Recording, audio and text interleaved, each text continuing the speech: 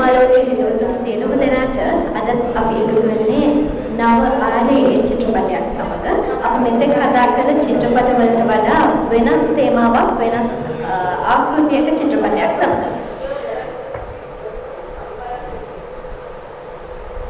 ප්‍රථමයෙන්ම වේදිකාවට ආරාධනා කර සිටිනවා සුගන්නා ලෙස සිනමා විචාරක තිලින අල්හකොන් මහතාට ඒ වගේම අධ්‍යක්ෂක තුසිත සිල්වා මහතාට?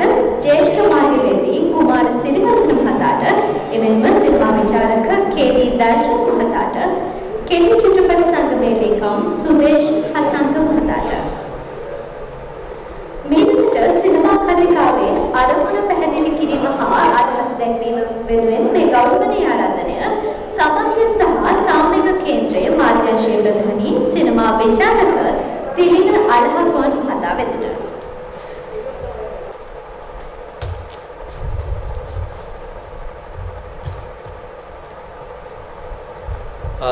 සුබ සන්ධ්‍යාවක් වේවා අද අපි විශේෂයෙන්ම විද්වත් සිනමා කතිකාවේ අද තවත් එක සිනමා පටයක් එක ඔබ හමුවට ඇවිල්ලා ඉන්නේ තමයි තුසිත සිල්වා මහත්මයාගේ Midnight Train කියන චිත්‍රපටිය.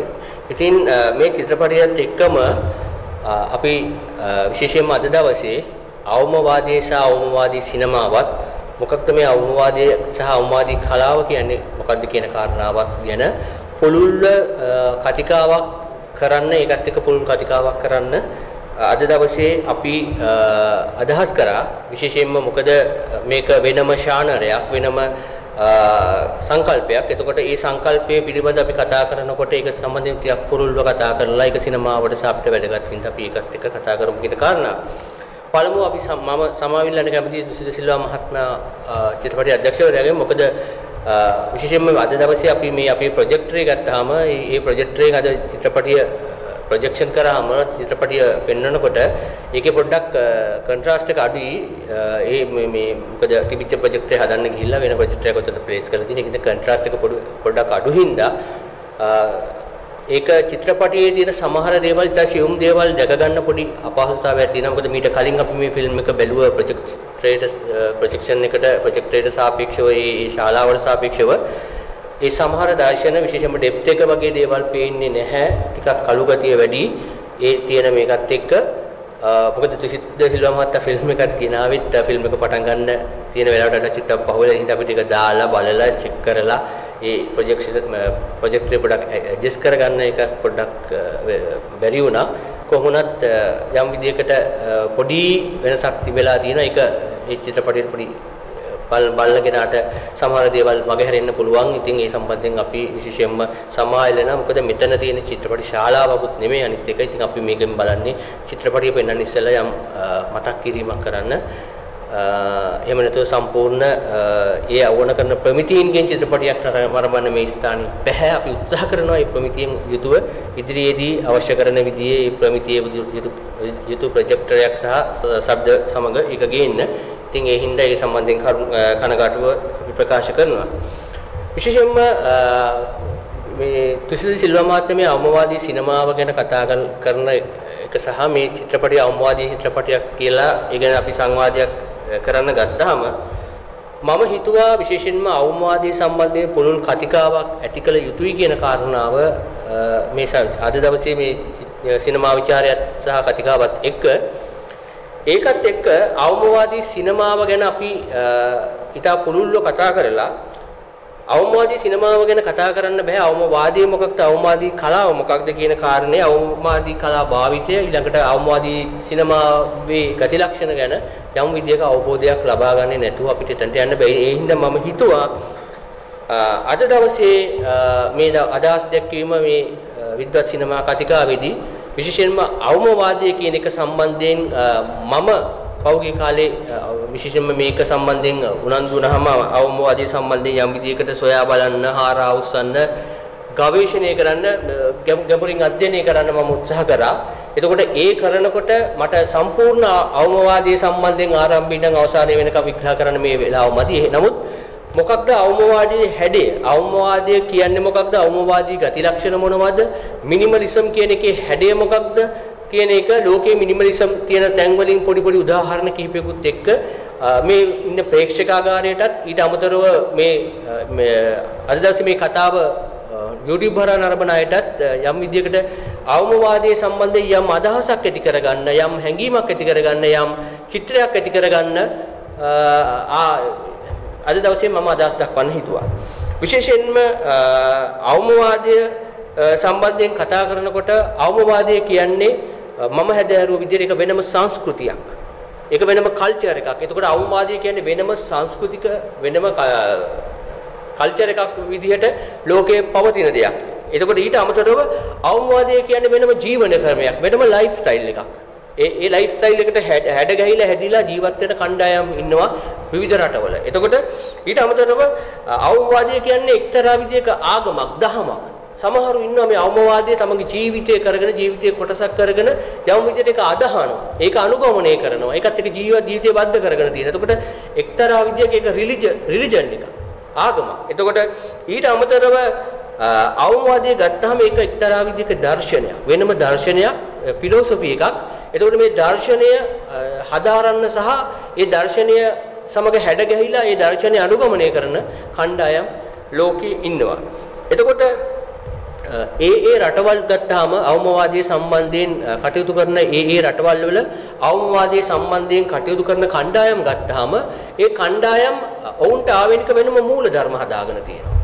වෙනම මූලධර්ම හදාගෙන කියන්නේ වෙනම අවවාදයේ සම්බන්ධයෙන් ප්‍රින්සිපල්ස් හදාගෙන තියෙන මූලධර්ම හදාගෙන තියෙන. එතකොට මේ මූලධර්ම ගත්තාම සමහර විට ඒ ඒ රටවල් වලට සාපේක්ෂව එක එක රටවල් වල ඒ මූලධර්ම වල පොඩි පොඩි වෙනස්කම් තියෙනවා. එක එකම මූලධර්මෙන් මේ මුළු ලෝකෙ පුරාම අවවාදයේ Uh, සම්බන්ධයෙන් uh, අනුගමනය කරන කණ්ඩායම් අතර තියෙන්නේ. එතකොට සමහර කණ්ඩායම් uh, වල තියෙන මූලධර්ම අනිත් කණ්ඩායම අතර යම් යම් වෙනස්කම් තියෙනවා. නමුත් මේ හැමෝටම පොදු ගති ලක්ෂණ තියෙනවා. මේ අවවාදයේ සම්බන්ධයෙන් හදාරන මේ කොට අපිට පේන එක තමයි මේ අවවාදයේ සම්බන්ධයෙන් මේ ලෝකයේ විවිධ තැන්වල අවවාදයේ එක්ක ජීවත් වෙන අවවාදයේ අනුගමනය කරන අවවාදය අනුව ජීවත් වෙන ඒක එක්ක ජීවිතය බද්ධ කරගෙන ඉන්න කණ්ඩායම් ගත්තාම ඒගොල්ලන්ට තියෙන මේ ප්‍රින්සිපල්ස් එහෙම නැත්නම් මූලධර්ම ගත්තාම ඒවා වෙනස් වෙනස් මූලධර්ම වුණාට මේ හැමෝටම පොදු වන මූලික පොදු ලක්ෂණ ගණනාවක් තියෙනවා මේ මේ අවවාදයේ සම්බන්ධයෙන්.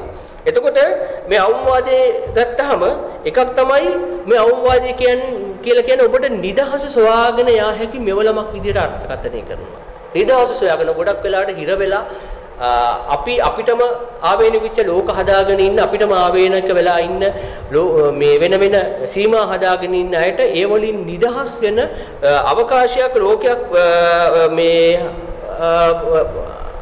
නිදහස් වෙන මේ විදිය මෙවලමක් බවට තමයි සමහරු මේක හඳුන්වන්නේ. ඊළඟට ගොඩක් වෙලාවට අපි අපේ ජීවිතය පාරිභෝගික ගුල් වලට අපි ජීවිතය ගත කරනකොට වෙනස් වෙලා වෙන පාරිභෝගික ගුල් වලට අපි අහු වෙනවා. වෙන කියන්නේ අපිව මෙහෙවන්නේ අපිව හසුරවන්නේ අපි නෙමෙයි. වෙන වෙන කණ්ඩායම් වෙන වෙන අය වෙන වෙන ව්‍යාපාර වෙන වෙන මේ ආයතන. එතකොට මේ පාරිභෝගික උගුල් වලින් අපිව ගලවලා අපිව යම් විදියකට එක තැනකට ගේන විශේෂයෙන්ම අපි දන්න කාරණයක් අද වෙන විට වෙළඳ දැන්වීම වගේ දේවල් වලින් අපිට අපේ මේ සරල ජීවිතය අපි අපේ මේ තියෙන සීමා සහිත ජීවිතය සංකීර්ණ කරලා තිනවා අපි ගොඩක් වෙලාවට අපිට රූපවාහිනිය හෝ අනිත් එකේ අනිත් ඒවල පෙන්නන වෙළඳ දැන්වීම අපිට දාන වෙළඳ දැන්වීම එක්ක අපි පෙළඹිලා තියෙනවා ඒවා අනුගමනය කරලා ඒවා පසුපස ගිහිල්ලා ඒවත් එක්ක අපේ ජීවිතේ සංකීර්ණ කරගන්න. එතකොට මේ අවමවාදයේ සම්බන්ධයෙන් ගත්තාම අවමවාදයේදී කරන්නේ මේ අපිව පාරිභෝගික උගුල් වලට අහු වෙලා තියෙන පාරිභෝගික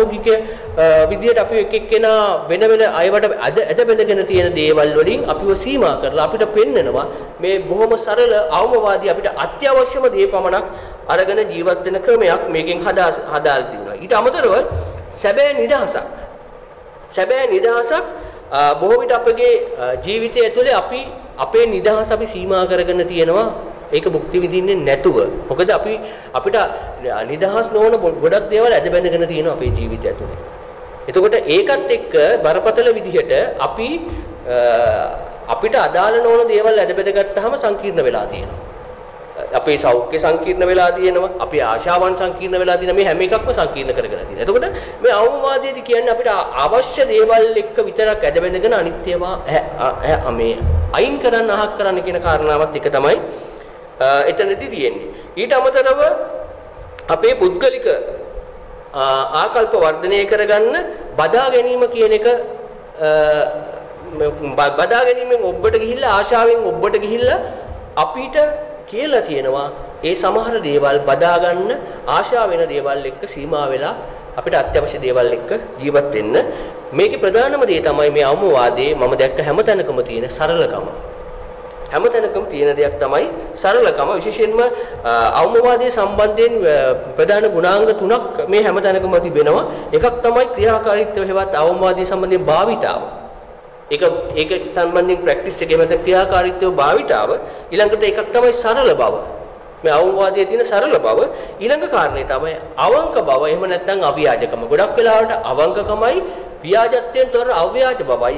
මේ අවවාදයත් එක්ක අපේ ජීවිතවලට එකතු වෙනවා ඊළඟට කාරණේ තමයි මේ අවවාදය ගත්තාම ජීවිතයේ අතිරික්තය ඉවත් කරන මෙවලමක් විදිහට හඳුන්වනවා. අපේ ජීවිතවල තියෙන අතිරික්තය ඉවත් කරන මෙවලමක් විදිහට තමයි අවමවාදය හඳුන්වන්නේ. එතකොට අපිට සතුට, තෘප්තිය, නිදහස.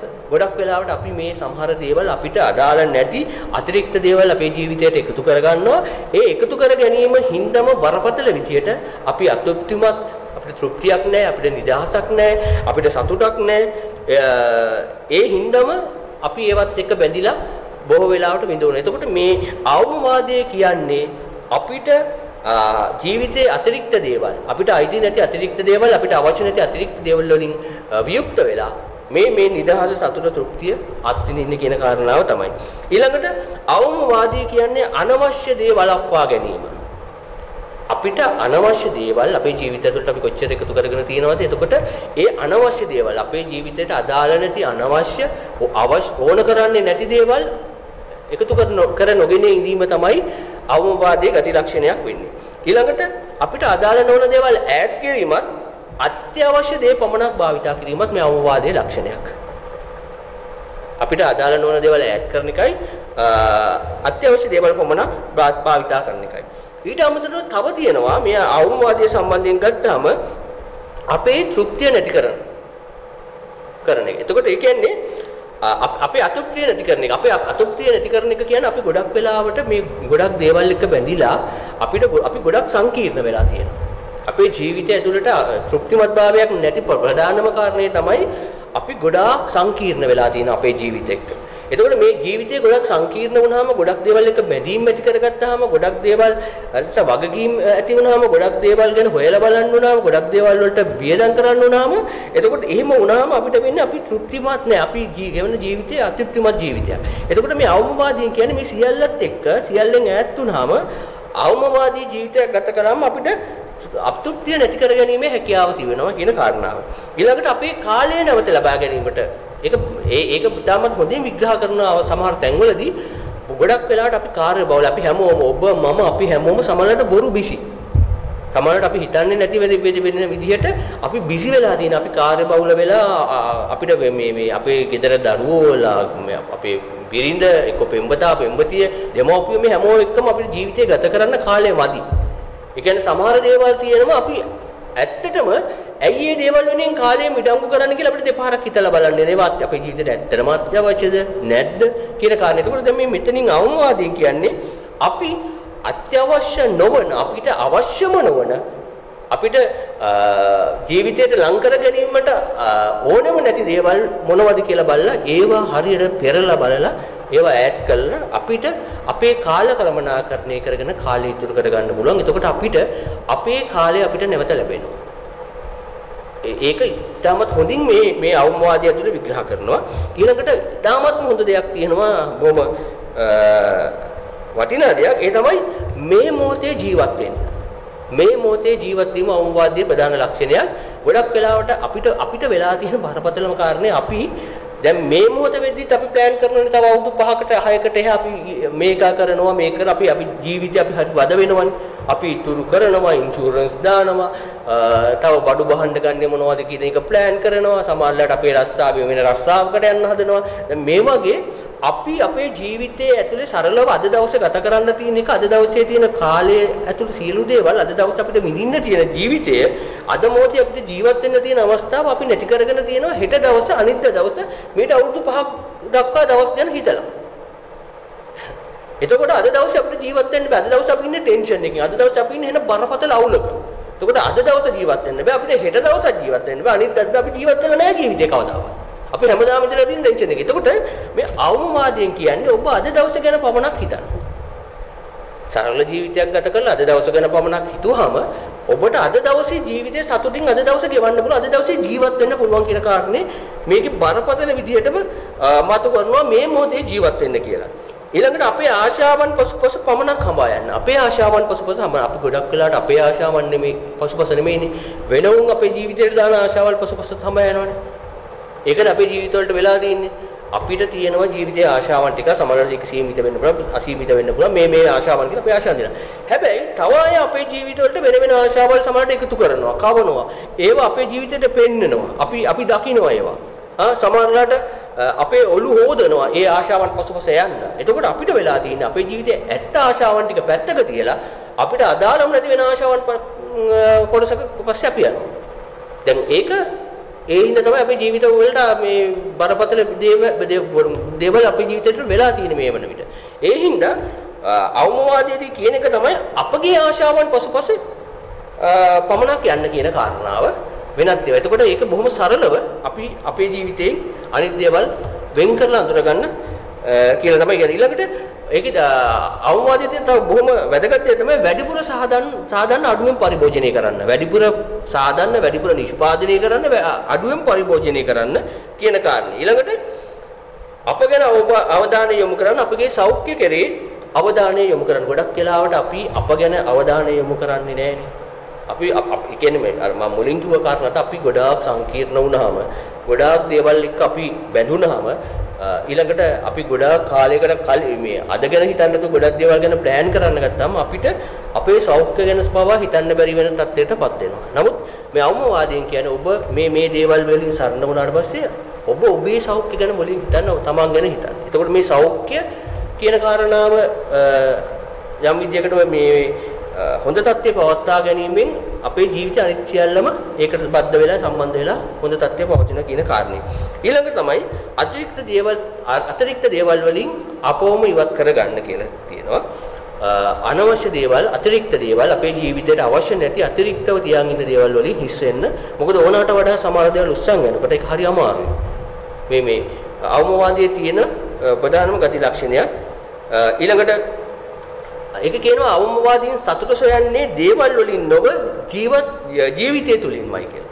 විවිධ ඔබ්ජෙක්ට් වලින් භෞතික දේවල් වලින් දේවල් වලින් මේ අවමවාදීන් සතුට හොයන්නේ ඒ ජීවිතය තුලින් සම්පූර්ණ ජීවිතේ ජීවත් වීම තුලින් තමයි සතුට හොයන්නේ කියලා. ඒ අනුව ඔබේ ජීවිතයට අවශ්‍ය දේ සහ අතිරික්ත දේ ගැන තීරණය ඔබම ගන්න. ඔබේ ජීවිතයට අවශ්‍ය දේ මොනවද අතිරික්ත දේ මොනවද කියන තීරණය වෙන අයට තීරණය කරන්න දෙන්න එපා. ඒක ඔබම ගන්න කියන කාරණේ අවමවාදයේදී විග්‍රහ කරනවා. ඊළඟට අපි බලමු ජපන් අවමවාදය ගැන පොඩ්ඩක් අපි අවධානය යොමු කරමු. ජපන් අවමවාදය ගත්තාම ජපන් අවමවාදීන් බොහෝ විට අත්‍යවශ්‍ය දේ සමග පමණක් ජීවත් වීමෙන් ඉතා සරල පිරිසිදු ජීවිතයක් ගත කරනවා. ඔවුන් හැම වෙලෙම මේ පිරිසිදුකම අපිරිසිදු නොවි පිරිසිදු ජීවත් වීම සහ සරලකමත් එක්ක ජීවත් වෙනවා. විශේෂයෙන්ම මේක ඇවිල්ලා තියෙන්නේ ඒ ජපානයේ සම්ප්‍රදායිකව පැවැදෙන සෙන් බුදුදහම. සෙන් බුදුදහමත් එක්ක ඇවිල්ලා ඒකත් එක්ක මිනිස්සුන්ගේ ජීවිතයට බද්ධ වෙලා තමයි මේ ජපානයේ තියෙන අවමවාදයේ ඒ ජපන් ජාතිකින්ට ලැබිලා තියෙන්නේ. එතකොට ඊට අමතරව ජපානයේ තව විශේෂ දෙයක් තියෙනවා. ඒ විශේෂ වචනයක්. ඒ තමයි දන්ශාරි කියන වචනය. දන්ශාරි කියන වචනය ජපානය තුළ බොහෝ ජනප්‍රිය වචනයක්. ඒ වචනේ ඇතුලේ අකුරු වලට වෙන තේරුම් දීලා තියෙනවා. එතකොට ඒකෙදි දන් කියන්නේ ප්‍රතික්ෂේප කිරීම, ශා යනු ඉවතලීම, රී යනු වෙන් කිරීම. එතකොට මේ දන්ශාරි කියන වචනේ තියෙන අවවාදයට සම්බන්ධව ප්‍රතික්ෂේප කරමින් ඉවතලමින් වෙන් කරමින් අපේ ජීවිතයට අවශ්‍ය දේවල් පමණක් අපේ ජීවිතය තුළ රඳවා ගනිමින් සරල පිරිසිදු ජීවිතයක් ගත කරන්නේ කොහොමද කියන කාරණේ ඔවුන් විශේෂයෙන්ම කරන ඔවුන් විශේෂයෙන්ම පරිභෝජනවාදී මානසිකත්වයෙන් ඉවත් වෙච්ච ක්‍රමවේදයක් තමයි අනුගමනය කරන්නේ.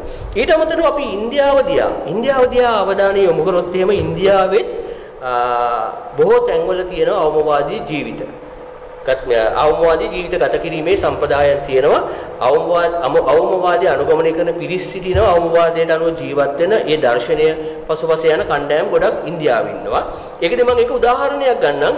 දකුණු ඉන්දියාවේ ප්‍රදේශවල ක්‍රියාත්මක වෙනවා දේවාරා කාඩු කියලා සංකල්පයක්. දකුණු ඉන්දියාවේ. එතකොට මේ දේවාරා කාඩු කියන සංකල්පය ඔවුන් හැම වෙලෙම කරන්නේ કૃතිම නිෂ්පාදන වලින් ඈත් වෙන්න. કૃතිමෝ නිෂ්පාදනය කරන ලද සියලු කෘතිම දේවල් වලින් ඈත් වෙලා ස්වභාවික ඊළඟට අව්‍යාජ දේවල් එක්ක ඔවුන් ජීවත් වෙනවා. සරලව අත්‍යවශ්‍ය දේවල් විතරක් අරගෙන ඒවා පරිසරයත් එක්ක පරිසරයත් එක්ක සම්බන්ධ වෙලා ස්වභාවික දේවල් එක්ක සම්බන්ධ වෙච්ච ජීව ජීවිතයක් ගත කරනවා. විශේෂයෙන්ම මේ දේවාරා කාඩු අනුගාමිකයෝ මේ සියලු දේවල් දේවත්වයෙන් වගේ අදහනවා. මේව අනුගමනය කරන ජීවිතය තුළ ප්‍රැක්ටිස් කරනවා. එතකොට ඒක ඒ දකුණු ඉන්දියාවේ තියෙන මේ අවමවාදී සංස්කෘතිය යම් විදිහකට ආගමික ගති ලක්ෂණයක් පෙන්නනවා. ඒක ආගමික ගති ලක්ෂණයක් පෙන්නනවා මේ ඉන්දියාවේ. ඊට අමතරව අපි ගමු ස්කැන්ඩිනේවියානු අවමවාදී ස්කැන්ඩිනේවියානු අවමවාදය ගත්තාම අර ඇමරිකානු සහ ජපාන් අවමවාදයෙන් වගේ නෙමෙයි ටිකක් කර්කශක අවමවාදයක්. ඊට අමතරව බොහොම බොහොම වුන් බොහොම තදින් මේකට බැඳිලා තියෙන අවමවාදයට බොහොම තදින් බැඳිච්ච කණ්ඩායමක් එතකොට ඔවුන් මේකෙදි බොහොම තමන්ට ඉතාමත් අත්‍යවශ්‍ය දේවල් එක්ක පමණයි ජීවත් වෙන්නේ. මේ මේ සමන්ට කොච්චර ලැබුණත් කොච්චර තිබුණත් තමන්ට අත්‍යවශ්‍ය නොවන දේවල් ජීවිතයෙන් බැහැර කරලා මේ ස්වභාවික දේවල් එක්ක වගේ දේවල් එක්ක තමයි ඔවුන් නිවාස තනන්නේ මේ අනිත් දේවල් වලට භාවිත කරන්නේ ලී වනේ දඬු ගස්වල කොටස් ඒවා අරගෙන මේ ස්වභාවික ඔවුන් මේ ලයිෆ් ස්ටයිල් එකක් වෙනම හදාගෙන තිබුණ මේ ජීවන පැවැත්ම ඔවුන් විසින්ම අදහනවා මේක බොහොම අවමවාදීව ඒක සමහරවිට දුෂ්කරයි. හැබැයි දුෂ්කර වුණාට ඒක උන්ට බොහොම සරලයි, බොහොම අව්‍යාජයි. ඒක ජීවිතේට සැනසීම ගැන මේ යම් දර්ශනයක් කියලා උන් පිළිගන්නවා. ඒ හින්දා උන් මේක බොහොම ගැඹුරින් අධ්‍යයනය මේ හදාරනවා. මේ ස්කැනේඩියානු අවමවාදයේ ඒ සම්බන්ධයෙන් ඉන්න ජන කොටස්. ඊළඟට මේ දැන් අපි ගත්තාම මිනිමලිසම් අවමවාදය ගත්තාම ලෝකෙ පුරා ලෝකයේ විවිධ රටවල අවමවාදයේ තැන් තැන් වල තිබුණට මේ අවමවාදයේ එක එක තල තියෙනවා ස්ටේජස් තියෙනවා එක එක තල. එතකොට මේ තලත් කියන්නේ අවමවාදය ගත්තාම අවමවාදය කියන්නේ අපි මේ කියන එක දර්ශනයක්. නමුත් ඒ දර්ශනයේත් යම් යම් අඩු වැඩිකම් සහ තල තියෙන අවස්ථා ලෝකේ දැක ගන්න පුළුවන් එක එක රටවල. ඊට අමතරව අපි ස්වීඩනයේ ස්වීඩන් කියන රට ගත්තාම මේ ස්වීඩනයේ අවමවාදය ගත්තාම මේගොල්ලෝ පාවිච්චි කරන එක ක්‍රමවේදයක් ඒ තමයි ඩොස්ටාඩ් ඩොස්ටාඩින් කියන ඩොස්ටාඩින් කියන ක්‍රමවේදය භාවිතා කරන මේ ඩොස්ටාඩින් කියන්නේ ස්වීඩනයේ ස්වීඩන් ස්වීඩන් මරණය පිරිසිදු කිරීම කියන අර්ථයේ එන වචනයක්. ස්වීඩන් මරණය පිරිසිදු කිරීම කියන අර්ථය තමයි මේ ඩොස්ටාඩින් කියන වචනේ තේරුම. එතකොට ඔවුන් මේකෙන් කරන්නේ දැන් කෙනෙක් පුද්ගලයෙක් වයසට යන්න යන්න පුද්ගලයෙක් වයසට යන්න යන ක්‍රමක්‍රමයෙන් ඔහු භාවිතා කරන දේවල් ඔහුට අයිති උපකරණ භාවිතා කරන දේවල් සියල්ල ක්‍රමක්‍රමයෙන් අයින් කරන සංකල්පයක් දෙන්නේ. එතකොට මොකද පළවෙනි කාරණේ තමයි කෙනෙක් ක්‍රමක්‍රමයෙන් ක්‍රමක්‍රමයෙන් වයසට යද්දී මහලු වියටපත් වෙද්දී ශරීරය යම් විදිහකට දුර්වල වෙද්දී ඔහුට යම් විදිහකට තමන් අල්ලගෙන බැඳගෙන ආසාවෙන් තියන් ඉන්න දේවල් වලින් ඈත් වෙලා මොකද අපි දන්න අපි හැමෝම මරණයට යන්නේ ඊට පස්සේ ඒ සඳහා සූදානම් වීමක් සිද්ධ වෙනවා. තමන් ගාව තියෙන සීළු දේවල් ටික ටික ටික ටික තමන්ගෙන් ඈත් කරලා අඩු කරලි වලලා ඒ තමන්ගේ මානසිකවම තමන් ඒ ඊළඟට තියෙන ස්ටේජ් එකට පුරුදු වෙනවා. ඊට අමතරව එකක් තමයි අර වයසට යන්න යන්න යන්න ඌට හරි අමාරුයි බඩු ගොඩක් තියාගත්තම මේව පරිහරණය කරන්න. ශාරීරික ශක්ති සානිකුත් දේවල් එක මානසික ශක්තියින් එක. එතකොට ඒවා ටික ටික අඩු වෙන තරමට ඌට ඒක හරි සරලව ඒ දේවල් එක්ක ජීවත් වෙන්න ඒව මැනේජ් කරගන්න පුළුවන්. එතකොට ඒකත් එක ක්‍රමයක් ඊළඟ එක තමයි ඔව් වටා ඉන්න පිරිස ඔහුගේ දූ දරුවෝ ඇතුළු ඔහුත් එක්ක ඉන්න ජීවත් වෙන අනිත් අයටත් එහෙම ඔහුගාව තියෙන ඔහුගේ බැඳීම් සහ ඔහුගේ තියෙන බඩු බහඬ අඩු වෙන්න අඩු වෙන්න ඔහුව කල්පනාකරණය කරන්න ලේසියි. ගයක් විදිහට පළමනා කරන ඔහු බලාගන්න ඒ සියල්ලට ලේසි. එතකොට ඒ හින්දා ඔවුන් මේක මේ යම් විදිහකට සම්ප්‍රදායක් විදිහට ස්වීඩන් අවමවාදී ඇතුලේ මේක ක්‍රියාත්මක වෙන හැම පවුලකම සමාජිකයින් විශේෂයෙන්ම වයසට යනකොට මේ තමන්ගේ තියෙන දේවල් ක්‍රමක්‍රමයෙන් අඩු වෙනවා. ඊළඟට අපි මේ අවමවාදය ගැන කතා කරා වගේම අපි යම් විදියකට කතා කරමු අවවාදී කලාව ගැන. අවවාදී කලාව මොකද අවවාදී කලාව කියන්නේ බොහොම පුළුල් දෙයක්. එතකොට නමුත් යම් විදියකට අවවාදී කලාව ලෝකේ තියෙන කලාව සම්බන්ධව පොඩි අවබෝධයක් ලබා ගැනීමට කතා මේ මේ කරමු. විශේෂයෙන්ම අවමවාදී කලාව ගැන සඳහන් වෙන හැමතැනකම තියෙන කාරණාවක් තමයි අවමවාදීන් කියන්නේ ඊටමත් සරල අභිනයන් ප්‍රකාශනයන් සහ ක්‍රියාකාරකම් ඇති පුද්ගලයන් කියලා. ඔවුන්ගේ සිතුම් පැතුම් සහ ඔවුන්ගේ මානසිකත්වයත් ඔවුන්ගේ ක්‍රියාකාරකම් සහ නිර්මාණත් බොහොම සරලයි බොහොම අව්‍යාජයි ඒ වගේම බොහොම සරල විදිහට ජීවත් වෙන මේ නිර්මාණය කරන කණ්ඩායමක් විදිහට තමයි මේ ප්‍රකාශන කරන කණ්ඩායමක් විදිහට තමයි මේ මේ මේ අවමවාදී කලාකරුවන් හඳුන්වන්නේ. ගොඩක් ගොඩක් වෙලාවට අවමවාදී කලාවන් ඇතුලේ සංකීර්ණ දේවල් සහ බොහොම මේ මේ බහුල දේවල් මේ ඇත්තේ නැහැ. ඒ හින්දාම තමයි ඔවුන්ගේ නිර්මාණත් බොහොම අව්‍යාජයි, සරලයි. බොහෝ විට මේ ඒව පරිහරණය කරන්න පහසු විදියට එන්නේ මේ මේ අවවාදී කලාකරුවන් පවා ඔවුන් මානසික ඔවුන් හිතන විදිය සහ ඔවුන්ගේ ආකල්ප ඔවුන්ගේ පරිකල්පනය මේ සියල්ල බොහොම අවවාදී විදියට තමයි කරන්න කියලා තමයි අවවාදී සම්බන්ධයෙන් විග්‍රහ කරන තැන්වල සඳහන් වෙලා තියෙන්නේ. ඊළඟට අවවාදය ගත්තාම අවවාදයට සම්බන්ධ එකක් ගෘහ නිර්මාණ ශිල්පය, චිත්‍ර හා මූර්ති කලාව, ඊළඟට අවවාදී නාට්‍ය කලාව, අවවාදී සංගීතය, අවවාදී ජනමාධ්‍ය කලාව ඊට අමතරව අවමවාදී අධ්‍යාපනය වගේ දේවල්. මේ සියල්ලම අද ලෝකයේ විවිධ ප්‍රදේශවල අත්හදා බලමින් සිටිනවා. බොහොම සරලව බොහොම අව්‍යාජව අත්‍යවශ්‍ය දේවල් පමණක් එකතු කරගෙන අනවශ්‍ය දේවල් බැහැර කරගනිමින් තමයි මේ කලාව ප්‍රැක්ටිස් කරමින් තිබෙන්නේ. ඊළඟට අපි ලංකාවේ අවමවාදී නාට්‍ය කලාව අවමවාදී නාට්‍ය කලාව ගැන පොඩ්ඩක් හැරෙමු. ලෝක නාට්‍ය කලාව පැත්තකින් ඉඳලා ලංකාවේ නාට්‍ය කලාව ගැන පොඩ්ඩක් හිතමු. ලංකාවේ අවමවාදී නාට්‍ය කලාව ගැන ගත්තහම අපි දන්නවා ලංකාවේ හැදෙන කෙටි චිත්‍ර කෙටි නාට්‍ය වේදිකා නාට්‍ය කෙටි වේදිකා නාට්‍ය ගත්තාම අති බහුතරයක් අවමවාදී ලක්ෂණ පෙන්눔 කරන කෙටි නාට්‍ය. හැබැයි ගැටලුව තියෙන්නේ මේ කෙටි නාට්‍යකරුවන් කිසිම කෙනෙක් දැනගෙන නෙමෙයි මේ අවමවාදී කෙටි නාට්‍ය කියලා දැනගෙන නෙමෙයි කරන්නේ එකක් උන්ට සල්ලි නැති නිසා උන්ට ඒකට නිෂ්පාදන පිරිවැය ලොකුවට දරන්න බැරි නිසා බොහොම අවමය භාවිතා කරමින් ගොඩක් දේවල් කරන්න මේ නිර්මාණය කරන්න. එතකොට ඒවල අවමවාදී ගති ලක්ෂණ තියෙනවා අවමවාදී නාට්‍ය විදියට. හැබැයි ඒව දැනගෙන නෙමෙයි කරන්නේ ලංකාවේ ගොඩක් හැදෙන කෙටි වේදිකා නාට්‍ය වල අවමවාදී ගති ලක්ෂණ රසක් තියෙනවා. ඊට අමතරව අපි ගත්තාම ලංකාවේ නාට්‍යවේදියෙක් වෙන එම් සෆීර් ඔබ දන්නවා එම් සෆීර් ගත්තාම එම් සෆීර් කියන්නේ ලංකාවේ නාට්‍ය කලාවට බොහෝ සේවයක් කරන නාට්‍යවේදියෙක්. විශේෂයෙන්ම ලංකාවේ මේ නාට්‍ය අනුමණ්ඩලයට වඩා ලංකාවේ නාට්‍ය කලාව වෙනුවෙන් කැප වෙලා වැය වෙලා ඒ වෙනුවෙන් වැඩ කරලා ඒ වෙනුවෙන් තමන්ගේ කාලයේ ශ්‍රමය මුදල් කැප කරලා ලොකුවට වැඩ කරන කෙනෙක් විශේෂයෙන්ම කොළඹ ජාත්‍යන්තර නාට්‍ය උළෙල සංවිධානය කරනවා වෙනත් විදි ආකෘතීන් තියෙන ජාත්‍යන්තර නාට්‍ය විදේශ නාට්‍ය ගැන අපිට පෙන්වනවා ඊට අමතරව නාට්‍ය වැඩමුළු වලින් අලුත් දේවල් කරනවා වගේ දේවල් ගොඩක් ඔහු කරනවා ඉතින් මේ සෆීර් කාලයක් හඳුන්වලා දුන්නා බ්ලැක් බොක්ස් තියටර් කියලා නාට්‍ය සම්ප්‍රදායක්. ඉතින් ඒ බ්ලැක් බොක්ස් තියටර් එකත් එක්තරා විදිහක අවමවාදී නාට්‍ය කලාවක්.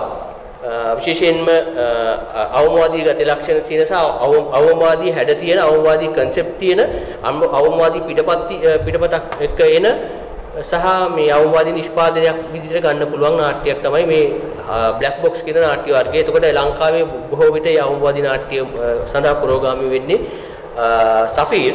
ඉතින් ඒ සෆීර් ඒ වගේ නාට්‍ය කලා ලොකු සේවයක් කරන කෙනෙක්.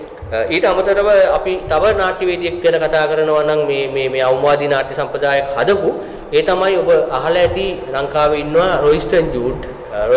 Anthony Royston Jude. එහෙම නැත්නම් ජූඩ් අමරගුරු. ඔහුත් විශේෂයෙන්ම ඔහු මුල් කාලේ ලංකාවේ පරේෂණ නාට්‍ය වගේ දැවන්ත වේදිකා නාට්‍ය කර කර කරපු කෙනෙක් ලොකු හියුජ් ස්ටේජ් ඩ්‍රාමා කරපු කෙනෙක් දැවන්ත පසුතල ලොකු කාස්ට් එකක් එක්ක වැඩ කරන නාට්‍ය රංගහල ගරාගේ සනුහරි ඔබාමතයි වගේ නාට්‍ය ගත්තාම මේ නාට්‍යවල දැන් අපි කියමු රංගහලට ඇතුළ නෙමෙයි නාට්‍ය වෙන්නේ. රංගහලේ එළියෙත් නාට්‍ය බලන්න යනකොට එළියෙත් සෙට් ගහලා තියෙනවා. එළියෙත් සරසලා තියෙනවා.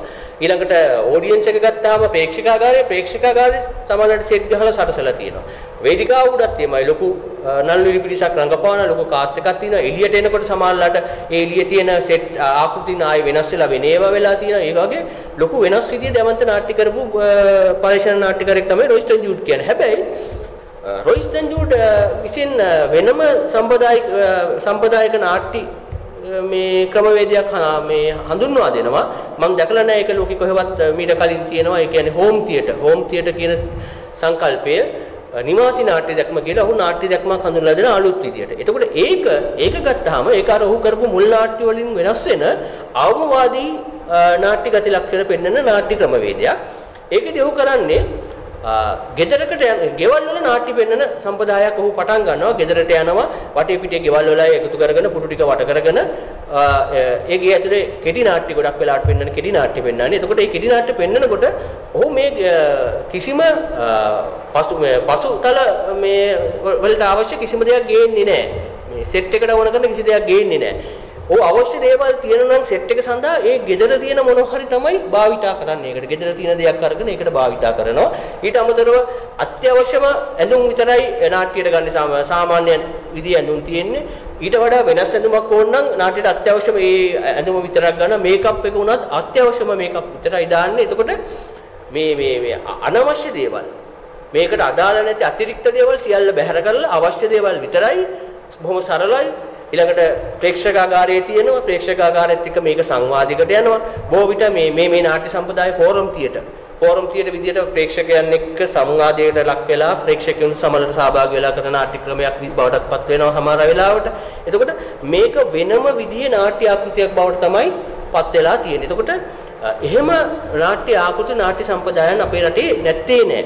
මේ මේ අවමවාදී නාට්‍යගත ලක්ෂණ පෙන්වන නාට්‍ය සංස්කෘතිය නැත්නම් විශේෂයෙන්ම මෙතනදී කියන්න ඕනේ මේ සුගතපාල සිල්ව අපේ හිටපු ජ්‍යෙෂ්ඨ නාට්‍යවේදියා ප්‍රවීණ නාට්‍යවේදියා ඔහු වරක් ඔහුගේ ඉගැන්වීම් වල කියනවා ඔබ වේදිකාවට යනකොට ඇල්පෙනෙට්ටක් අරගෙන යනවද ඒ ඇල්පෙනෙට්ට අනිවාර්යයෙන්ම තමන්ගේ රංගකාරයට අවශ්‍ය නම් විතරක් රැගෙන යන්න. ඒක ඇල්පෙනෙට්ට අරන් ගියොත් ඒක ඔබේ රංගනය සඳහා ඒක භාවිතා කරන්න. නැත්තම් ගෙනියන්න එපා. තමන්ට අදාළ නොවන දෙයක් නම් ඒක ගෙනියන්න එපා නාට්‍යයට අදාළ නොවන දෙයක් නම් ගෙනියන්න එපා. ප්‍රොප් සරි ඇඳුම් හරි මොනවා හරි වේදිකාවට ඔව් බොහොම දෙන්නේ අවු ඒ තමයි අවමවාදී සම්බන්ධයෙන් තියෙන ලොකු ඉගැන්වීම. සුගතපාල සිල්වා මහත්මයාගේ සොඳුරු ආඥාදායකගේ පොතේ තියෙනවා මට මතක හැටියට ඒක. එතකොට ඒ ලංකාවේ නාට්‍ය කලාව ගත්තාම ඊළඟට ලංකාවේ සිනමාව ගත්තාම සිනමාවේ අවමාදී ලක්ෂණ ගත්තාම ලංකාවේ ඉතින් ලෝකේ සිනමාවට සාපේක්ෂව ගත්තාම අපේ ලංකාවේ සිනමාව කොහොමත් අවමවාදී තමයි. අවමවාදී ගති ලක්ෂණ තමයි තියෙන්නේ. හැබැයි ඉතින් අපි හරියට ওই සම්බන්ධයෙන් විග්‍රහ කරලා කතා කරලා බලනකොට විශේෂයෙන්ම අපි අපේ සමහර චිත්‍රපටි ගත්තාම විශේෂයෙන්ම ඩෙස්ටර් ජේම්ස් පීරිස් මහත්මයාගේ නිදානේ කම්පිටි වගේ චිත්‍රපටි ගත්තත් ඒවත් අර ලකුවට ගොඩක් දේවල් භාවිතා කරලා කරපු දේවල් නෙමෙයි අවමවාදයේ ඒ ලක්ෂණ ඒව ඇතුළේ තියෙනවා. සමහර ඒ සමහර චිත්‍රපටි ඒ කාලේ හැදිච්ච චිත්‍රපටි ඇතුළේ අවමවාදී ගති ලක්ෂණ තියෙනවා. මේ මෑත කාලේ හැදෙන චිත්‍රපටි රසක් තියෙනවා. වෘත්තාන්ත චිත්‍රපටි එහෙම ඒවලත් අවමවාදී ගති ලක්ෂණ තියෙනවා.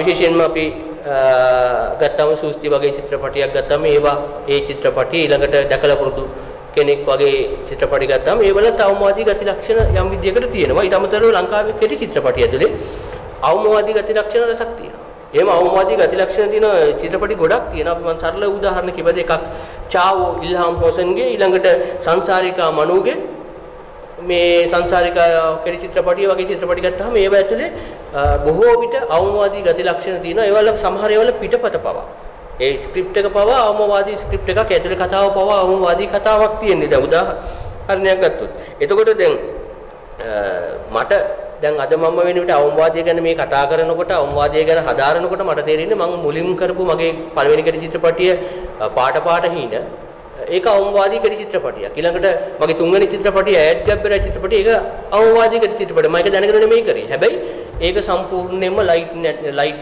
ආලෝකකරණය ලොකුවට භාවිතා කරේ නැහැ. ඒ බොහොම සරලව ඇඳුමක් දෙකක් සහ ඒ ඕන කරන පොඩි දේවල් ටික භාවිතා කරලා එහෙම මේ මේකප්වත් නොකර එහෙම කරපු මේ බොහොම මේ අත්‍යවශ්‍ය දේවල් පමණක්ම අරගෙන කරපු එකක්. හැබැයි ඒක මං අවවාදී ගති ලක්ෂණ එක්ක ඒක දැනගෙන කරපු එකක් නෙමෙයි මම මේ වෙලාවේ මට අතේ තියෙන මුදල් එක්ක ඒක කල්පනාකරණය කරගත්ත එකක්. හැබැයි ඒක තව ඒවත් අවමාදී ගති ලක්ෂණ දැන. ඒක තමයි වෙලා තියෙන්නේ අපිට අපි ගොඩක් වෙලාට දැනගෙන නෙමෙයි මේ මේ ගොඩක් දේවල් කරන්නේ. ඒ හින්දම තමයි ඒ தත්ත්වයටපත් වෙලා තියෙන්නේ. ඊළඟ කාරණේ තමයි දැන් අපේ මම අර ඉස්සෙල්ලා කතා කරා අපේ එම් සෆීර් සෆීර් මට මේ ළඟදී කතා කරලා කියපු කාරණාවක් තමයි මේ මේ අවමාදී සංවාදයේ සහ මේ චිත්‍රපටි ਵਿਚාරය ගැන කතා කරනකොට ඔහු කිව්වේ මචං මේ මමත් 2021 චිත්‍රපටයක් කරා මගේ මුල්ම චිත්‍රපටය ඒක අවමවාදී චිත්‍රපටයක් ඒකත් අවවාදී concept එකක් විදිහට අවවාදී චිත්‍රපටියක් විදිහට තමයි කරේ. ඒ සම්බන්ධයෙන් පොඩි සංවාදයක් කතිකාවකුත් තිබුණා. ඒ තිබුණා. උඹ දෙක දන්නේ නැද්ද කියලා මගෙන් ඉතින් ඇත්තටම මම ඒක දැනගෙන හිටියේ නෑ. ඇත්තටම මේක අවසනාවක්. එහෙම නොදැනගෙන සිටීම මේ මේ වගේ විද්ද අවුරුදු පහක් තිස්සේ අපි කරගෙන යන මේ වගේ එකකදී.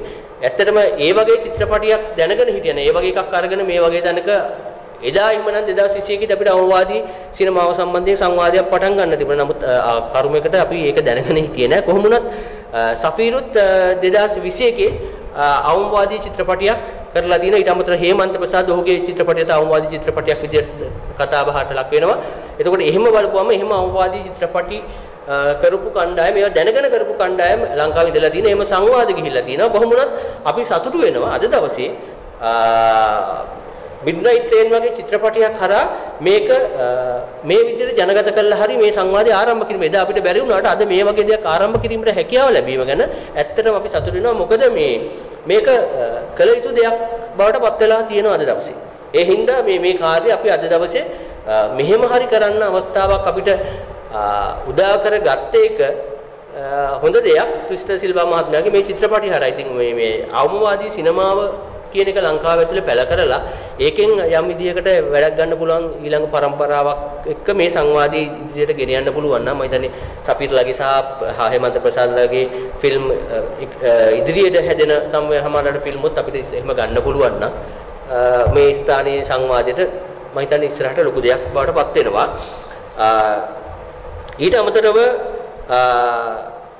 තියෙන කාරණාව තමයි දැන් ගොඩක් දෙනෙක් මේ මේ අවමවාදී චිත්‍රපටි සම්බන්ධයෙන් කතා කරනකොට මේ ගොඩක් අය හිතනවා මේ අවමවාදී චිත්‍රපටි කියන්නේ ලෝ බජට් චිත්‍රපටි කියලා. ඒක වරද්ද ගන්න මේ අවමවාදී චිත්‍රපටත් ලෝ බජට් චිත්‍රපටිත් දෙක වරද්ද ගන්නවා. ලෝ බජට් චිත්‍රපටි කියන්නේ වෙනම එකක්. අවමවාදී චිත්‍රපටි කියන්නේ වෙනම සංස්කෘතියක් එක්ක එන එකක්. එතකොට ඒ අතරේ ඒ රේඛාව හරියට අපි කියව ගන්න ඕනේ. ඒ ගැන හදාරීමක් කරන්න ඕනේ. මමත් ඒ ගැන හදාරමින් සිටින මටත් හරියට මේ රේඛාව මෙතනයි කියලා දැනගන්න බැරි තැනක තාම ඉන්නේ. ඇත්තම කාරණාව. එතකොට ඒ ගැන අපි හදාරන්න ඕනේ. එතකොට මේ ගොඩක් වෙලාවට ලෝ බජට් චිත්‍රපටි වල අවවාදී ගති ලක්ෂණ අඩුයි.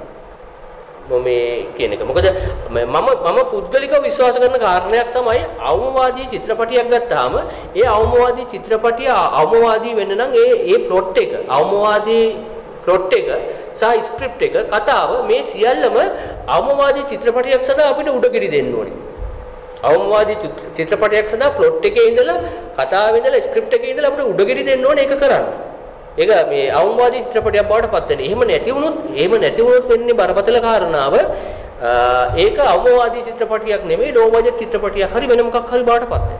මේ ස්ක්‍රිප්ට් එක. එතකොට ඒ ස්ක්‍රිප්ට් එකෙන් සමහර වෙලාවට අපි ඉල්ලුවොත් එහෙම අවමවාදී නොවන එකක් කරන්න. එතකොට අපිට අවමවාදී නොවන චිත්‍රපටයක් ස්ක්‍රිප්ට් එක ඇතුලේ තියෙද්දි අපිට අවවාදී චිත්‍රපටියක් කියලා හිතින් හිතාගෙන අවවාදී චිත්‍රපටියක් කරන්න බෑ. ඉතින් උදාහරණ උදාහරණයක් ගත්තාම අපිට රජ කාලේ ලොකු දර්ශන ඇතුළත් දුටුගැමුණු රජුරුවන්ගේ හරි ඇලෙක්සැන්ඩර්ගේ හරි අශෝක රජුරුවන්ගේ හරි යම් මේ පොඩි කතාවක් කෙරි චිත්‍රපටයකට හරි මොකට හරි චිත්‍රපටයකට කරන්න සිද්ධ වුණොත් එහෙම එතනදී අපිට ওই අමවාදය කියන එක ආරක්ෂා කරගන්න හැකියාවක් ලැබෙයිද කියන කාරණාව තිබෙනවා. මොකද මේ මේ අශෝක රජුරුවන් හරි දුටුගැමුණු රජුරුවන් හරි ඇලෙක්සැන්ඩර් රජුරුවන්ගේ හරි මේ පෞරුෂය ඒ ඒ තියෙන දැවැන්තකම ඒ තියෙන අභිමානය පෙන්වන්න අපිට සෙට් ගහන්න වෙනවා ඇඳුම් නිර්මාණ කරන්න වෙනවා පරිවාර සේනාව දාන්න වෙනවා වගේ දේවල් ගොඩක් කරන්න. එතකොට එතන අවවාදයේ තියෙයිද කියන කාරණාව තියෙනවා. එතකොට ඒ සම්බන්ධයෙන් අපි සංවාදයක් වෙන්න ඕනේ. එතකොට මේ ඒක ඒක අවමවාදී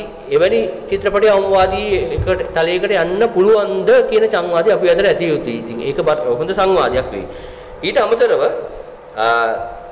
මෙහි මොහොතේ ලංකාවේ අවමාදී සිනමාව වැදගත් වෙන්නේ ඇයි කියන කාරණාවත් මම අද දවසේ කතා කරනවා. එතකොට ලංකාවට අපේ රටට මේ මොහොත වන විට අවමාදී සිනමාවක් අවශ්‍ය වෙන්නේ ඇයි කියන කාරණාව මේ මොහොතේ අපි හැමෝම සංවාදයට ලක්වන යුතු කරුණක් කියන එක මම පුද්ගලිකව විශ්වාස කරනවා. ඒකට එකක් එක හේතුවක් තමයි එකක් අපේ රටේ ප්‍රේක්ෂකකාරී සීමිතයි. අපිට අපේ රටක් විදියට අපිට තියෙන ප්‍රේක්ෂකාගාරයේ සීමිත ප්‍රේක්ෂකාගාරයක් තියෙන්නේ. එතකොට අපේ රටේ ඒ ජනගහනයත් එක්ක සීමිත ප්‍රේක්ෂකාගාරය ඊළඟට චිත්‍රපටි වලට කැමති ප්‍රේක්ෂකාගාරයක් බවට තවත් කුඩා වෙනවා. එතනිනුත් චිත්‍රපටි බලන ප්‍රේක්ෂක පිරිස බවට කුඩා වෙනවා. ඒකත් බෙදෙනවා. මම චිත්‍රපටයක් හදුත් මගේ චිත්‍රපටියට කැමති පිරිස හෝ අකමැති පිරිස කියන. එතකොට සමහරවිට මගේ චිත්‍රපටිය බලන්න ඉන්නේ බොහොම සුළු ප්‍රේක්ෂකාගාරයක් තමයි මගේ චිත්‍රපටියට ඉන්නේ. එතකොට එහෙම වුණාම ඒ චිත්‍රපටය සඳහා දරන පිරිවැය සම්බන්ධයෙන් බරපතල ගැටලුවක් එනවා. මම ඒ කුඩා ප්‍රේක්ෂකාගාරයකට ඒ හදන චිත්‍රපටියට මට ලොකු මුදලක් වියදම් කරලා හැදුවොත් මට ඒක නැවත ලබා ගැනීමට හැකියාවක් ලැබෙයිද කියන ඒ ප්‍රේක්ෂකාගාරය. ඊළඟට තියෙන බරපතල කාරණාව තමයි අපේ රටේ ප්‍රේක්ෂකාගාරයේ චිත්‍රපටි බලන ප්‍රේක්ෂකාගාරය ගොඩක් වෙලාවට අද පුරුදු වෙලා තියෙන ඔන්ලයින් විදියට බලන්න. ඒකෝ ඉන්ටර්නෙට් එකෙන් ටොරන්ට් හරි මොන හරි එකකින් ඩවුන්ලෝඩ් කරලා හරි Netflix හරි මොන හරි එකකින් බලන්න ඔන්ලයින් චිත්‍රපටි නරඹන්න අර සිනමා ශාලාවට ගිහිල්ලා පුළුල් තිරයක ලොකු තිරයක කළුවරේ ලයිට් නිවාගෙන බලන චිත්‍රපටිය වෙනකොට ගේ ඇතුළේ ඉඳගෙන ශාලය ඇතුළේ ඉඳගෙන චිත්‍රපටි බලන සංස්කෘතියකට අපි ඇවිල්ලා තියෙනවා. එතකොට කොතරම් දුරට සිනමා ශාලාවට අපේ චිත්‍රපටියක් බලන ප්‍රේක්ෂකයා ඉද කියන ගැටලුව අපි හැමෝටම තියෙනවා. ඉතින් ඒක බරපතල කාරණාවක් බවට පත් වෙනවා අපි ප්‍රේක්ෂකාගාරයේදී අපි චිත්‍රපටි හදන හදනකොට ඒ ඒ ඔඩියන්ස් එක අපිව තීරණය කරනවා මොකක්ද හදන චිත්‍රපටියේ කියන කාරණාව. ඊළඟට අපිට මේ මේ අර ප්‍රේක්ෂකකාරය අර විදිහට හැකිලිලා ගියාම කුළුල් වෙන්නේ නැතුව හැකිලිලා ගියාම ඊළඟට අපිට තියෙන ගැටලුව තමයි අපි හදන චිත්‍රපටි සම්බන්ධයෙන් අපි හදන ප්ලොට් අපි හදන ප්ලොට් කතාවස්තු අපි අපේ පිටපත් අපේ රංගනයන් අපි ගෙනියන මේ මේ සමස්ත චිත්‍රපටිය ගත්තාම ඒක අපිට මෙතනින් එහාට ප්‍රේක්ෂකකාරයක් ආමන්ත්‍රණය කරන්න බැරි වෙලා තියෙනවා. අපේ රටේ අපේ දූපත් මානසිකත්වය අපි හදන අපේ රටේට ගැලපෙන කතා ටික විතරයි. එතනින් එහාට අපිට අපේ රටෙන් එහා ගිය ඔඩියන්ස් එකකට වෙනත් රටකට වෙනත් විදේශ රටකට එහෙම නැත්නම් අපේම රටේ පිරිසක් ඉන්න අපේ රටින් පිට ඒ වගේ කණ්ඩායම් වලට ඒක ගෙනියන්න බැරි වෙලා තියෙනවා. ඒ ඔඩියන්ස් එකට කතා කරන්න පුළුවන් ප්ලොට් හොයාගන්න බැරි වෙලා තියෙනවා. ඔවුන්ට දැනෙන විදිහේ පිටපත් සහ කතා එක්ක අපිට මේ හොඳ චිත්‍රපටයක් හදන්න බැරි වෙලා තියෙනවා. එතකොට ඊට අමතරව ජාත්‍යන්තරේ අපිට ජය ගන්න බැරි වෙලා තියෙනවා. බොහෝ විට අපේ චිත්‍රපටි හදන චිත්‍රපටි අධ්‍යක්ෂකරු කිහිප දෙනයි ඉන්නේ ලංකාවෙන් පිට ගිහිල්ලා ඒ ජාත්‍යන්තරේ ජය ගන්න යම් තාක් දුරට හරි හැකියාව ලැබිච්ච. ඒ හින්දා අපිට මේ මේ මේ ලංකාවෙන් පිට ගිහිල්ලා ජාත්‍යන්තරය ජය ගන්න විදිහේ චිත්‍රපටි කරන්න බැරි වෙන තාක්කල් අපිට මේ ඔඩියන්ස් එක තවදුරටත් එක්ස්පෑන්ඩ් කරගන්න පුළුල් කරගන්නීමට හැකියාවක් ලැබෙන්නේ නැහැ. ඊළඟ කාරණේ තමයි අපි දැන් මේ වන විට රටක් විදියට මුහුණ දීලා තියෙන බරපතල ආර්ථික අර්බුදය. ඉකොනොමික් ක්‍රයිසිස් එක. ඒකත් එක්තරා විදියකට බරපතල විදියට රටක් විදියට අපිට බලපානවා. මොකද මේ ඉකොනොමික් ක්‍රයිසිස් එකත් එක්ක ගොඩක් වෙලාට නිෂ්පාදකින්ට හැකියාවක් නැහැ. විශාල මුදලක් වියදම් කරමින් සිනමා මේ චිත්‍රපටි හදන්න. මොකද ඒ ඒ හදන වියදම් කරන ආයෝජනය කරන මුදල නැවත ලබා ගැනීමේ අර්බුදයක තියෙනවා. ඊට අමතරව ප්‍රේක්ෂකයින්ට හැකියාවක් නැහැ චිත්‍රපටියක් බලන්න යන්න. මොකද චිත්‍රපටියක් බලන්න යනවා කියන එක දැන් අද වෙන විට සරල කාරණාවක් ඒක ලේසි කාරණාවක් නෙමෙයි. මොකද චිත්‍රපටියක් බලන්න ශාලාවකට යනවා කියන්නේ ට්‍රාන්ස්පෝර්ට් වියදම අද වැඩි බරපතල විදිහට අද ප්‍රවාහන වියදම වැඩි වෙලා තියෙනවා ඊට අමතරව චිත්‍රපට ශාලාවක ටිකට් එකක් ගත්තාම ඒකත් යම් විදියකට අපිට දරන්න පුළුවන්ද කියන කාරණාව දවටපත් වෙලා තියෙනවා. එතනින් එහාට අපි නිකම්ම චිත්‍රපටියක් බලන්නේ නැහැ බීම් එකක් මොකක් හරි බීම් එකක් බිබී මොන හරි කකා තමයි බොන්නේ. එතකොට ඒකටත් වියදමක් දරන්න වෙනවා. සමහරවිට තනියෙන් යන්නේ නැහැ පවුලේ අය එක්ක ගියාම මේ වියදම දෙගුණ තෙගුණ වෙනවා. එතකොට ඒක පවුලකට දරා ගන්න බෑ මාසික වියදමත් එක්ක. එතකොට ඒ අර්බුදයකට ප්‍රේක්ෂකයෝ අද වෙන විට පත් වෙලා තියෙනවා. ඒක බොහෝ විට අර්බුදකාරී තත්යකට පත් වෙලා තියෙනවා. උදාහරණයක් ගත්තාම දැන් අපේ අපේ රටේ අපි ගත්තාම එච්.ඩී. ප්‍රේමසිරි මහත්මයා වගේ නිෂ්පාදකවරු එතුමා පෞගිය වසර කිහිපය පුරාම චිත්‍රපටි රාශියක් නිෂ්පාදනය කිරීම සඳහා ප්‍රාග්ධනය යෙදුවා. හැබැයි ඒ සමහර චිත්‍රපටි සමහර ඒවා දැවන්ත චිත්‍රපටි යම් විදිහකට වැඩි මිලක් වැඩි ප්‍රාග්ධනයක් වැඩි ආයෝජනයක් කරපු චිත්‍රපටි. හැබැයි එතුමා ඒ ආයෝජනය කරපු මුදල් නැවත එතුමාට ලබා ගැනීමට හැකියාව ලැබුණාද චිත්‍රපටිය දුවලා. කියන ප්‍රශ්නාර්ථය අපිට ඉතුරු කරලා තිනා. නමුත් එතුමා තාමත් චිත්‍රපටි හදනවා. එතකොට එවැනි නිෂ්පාදකවරු දිගින් දිගටම දිගින් දිගටම තමන් වියදම් කරන මුදල හොයා ගැනීමට හැකියාවක් ලැබුණේ නැත්නම් තවදුරටත් චිත්‍රපටි සඳහා ආයෝජනය කරයිද කියන කාරණේ. මොකද ප්‍රේමසිරි මහත්මයා වගේ කෙනෙක් මුදල් මතම නෙමෙයි ඒ දේ කරන්නේ. එතුමා වෙනත් තෘප්තියක් ලබනවා සහ සිනමා කර්මාන්තය සහ කලාවට තියෙන ආදරෙ හින්දා ඒක කරන්නේ අපි දන්නවා.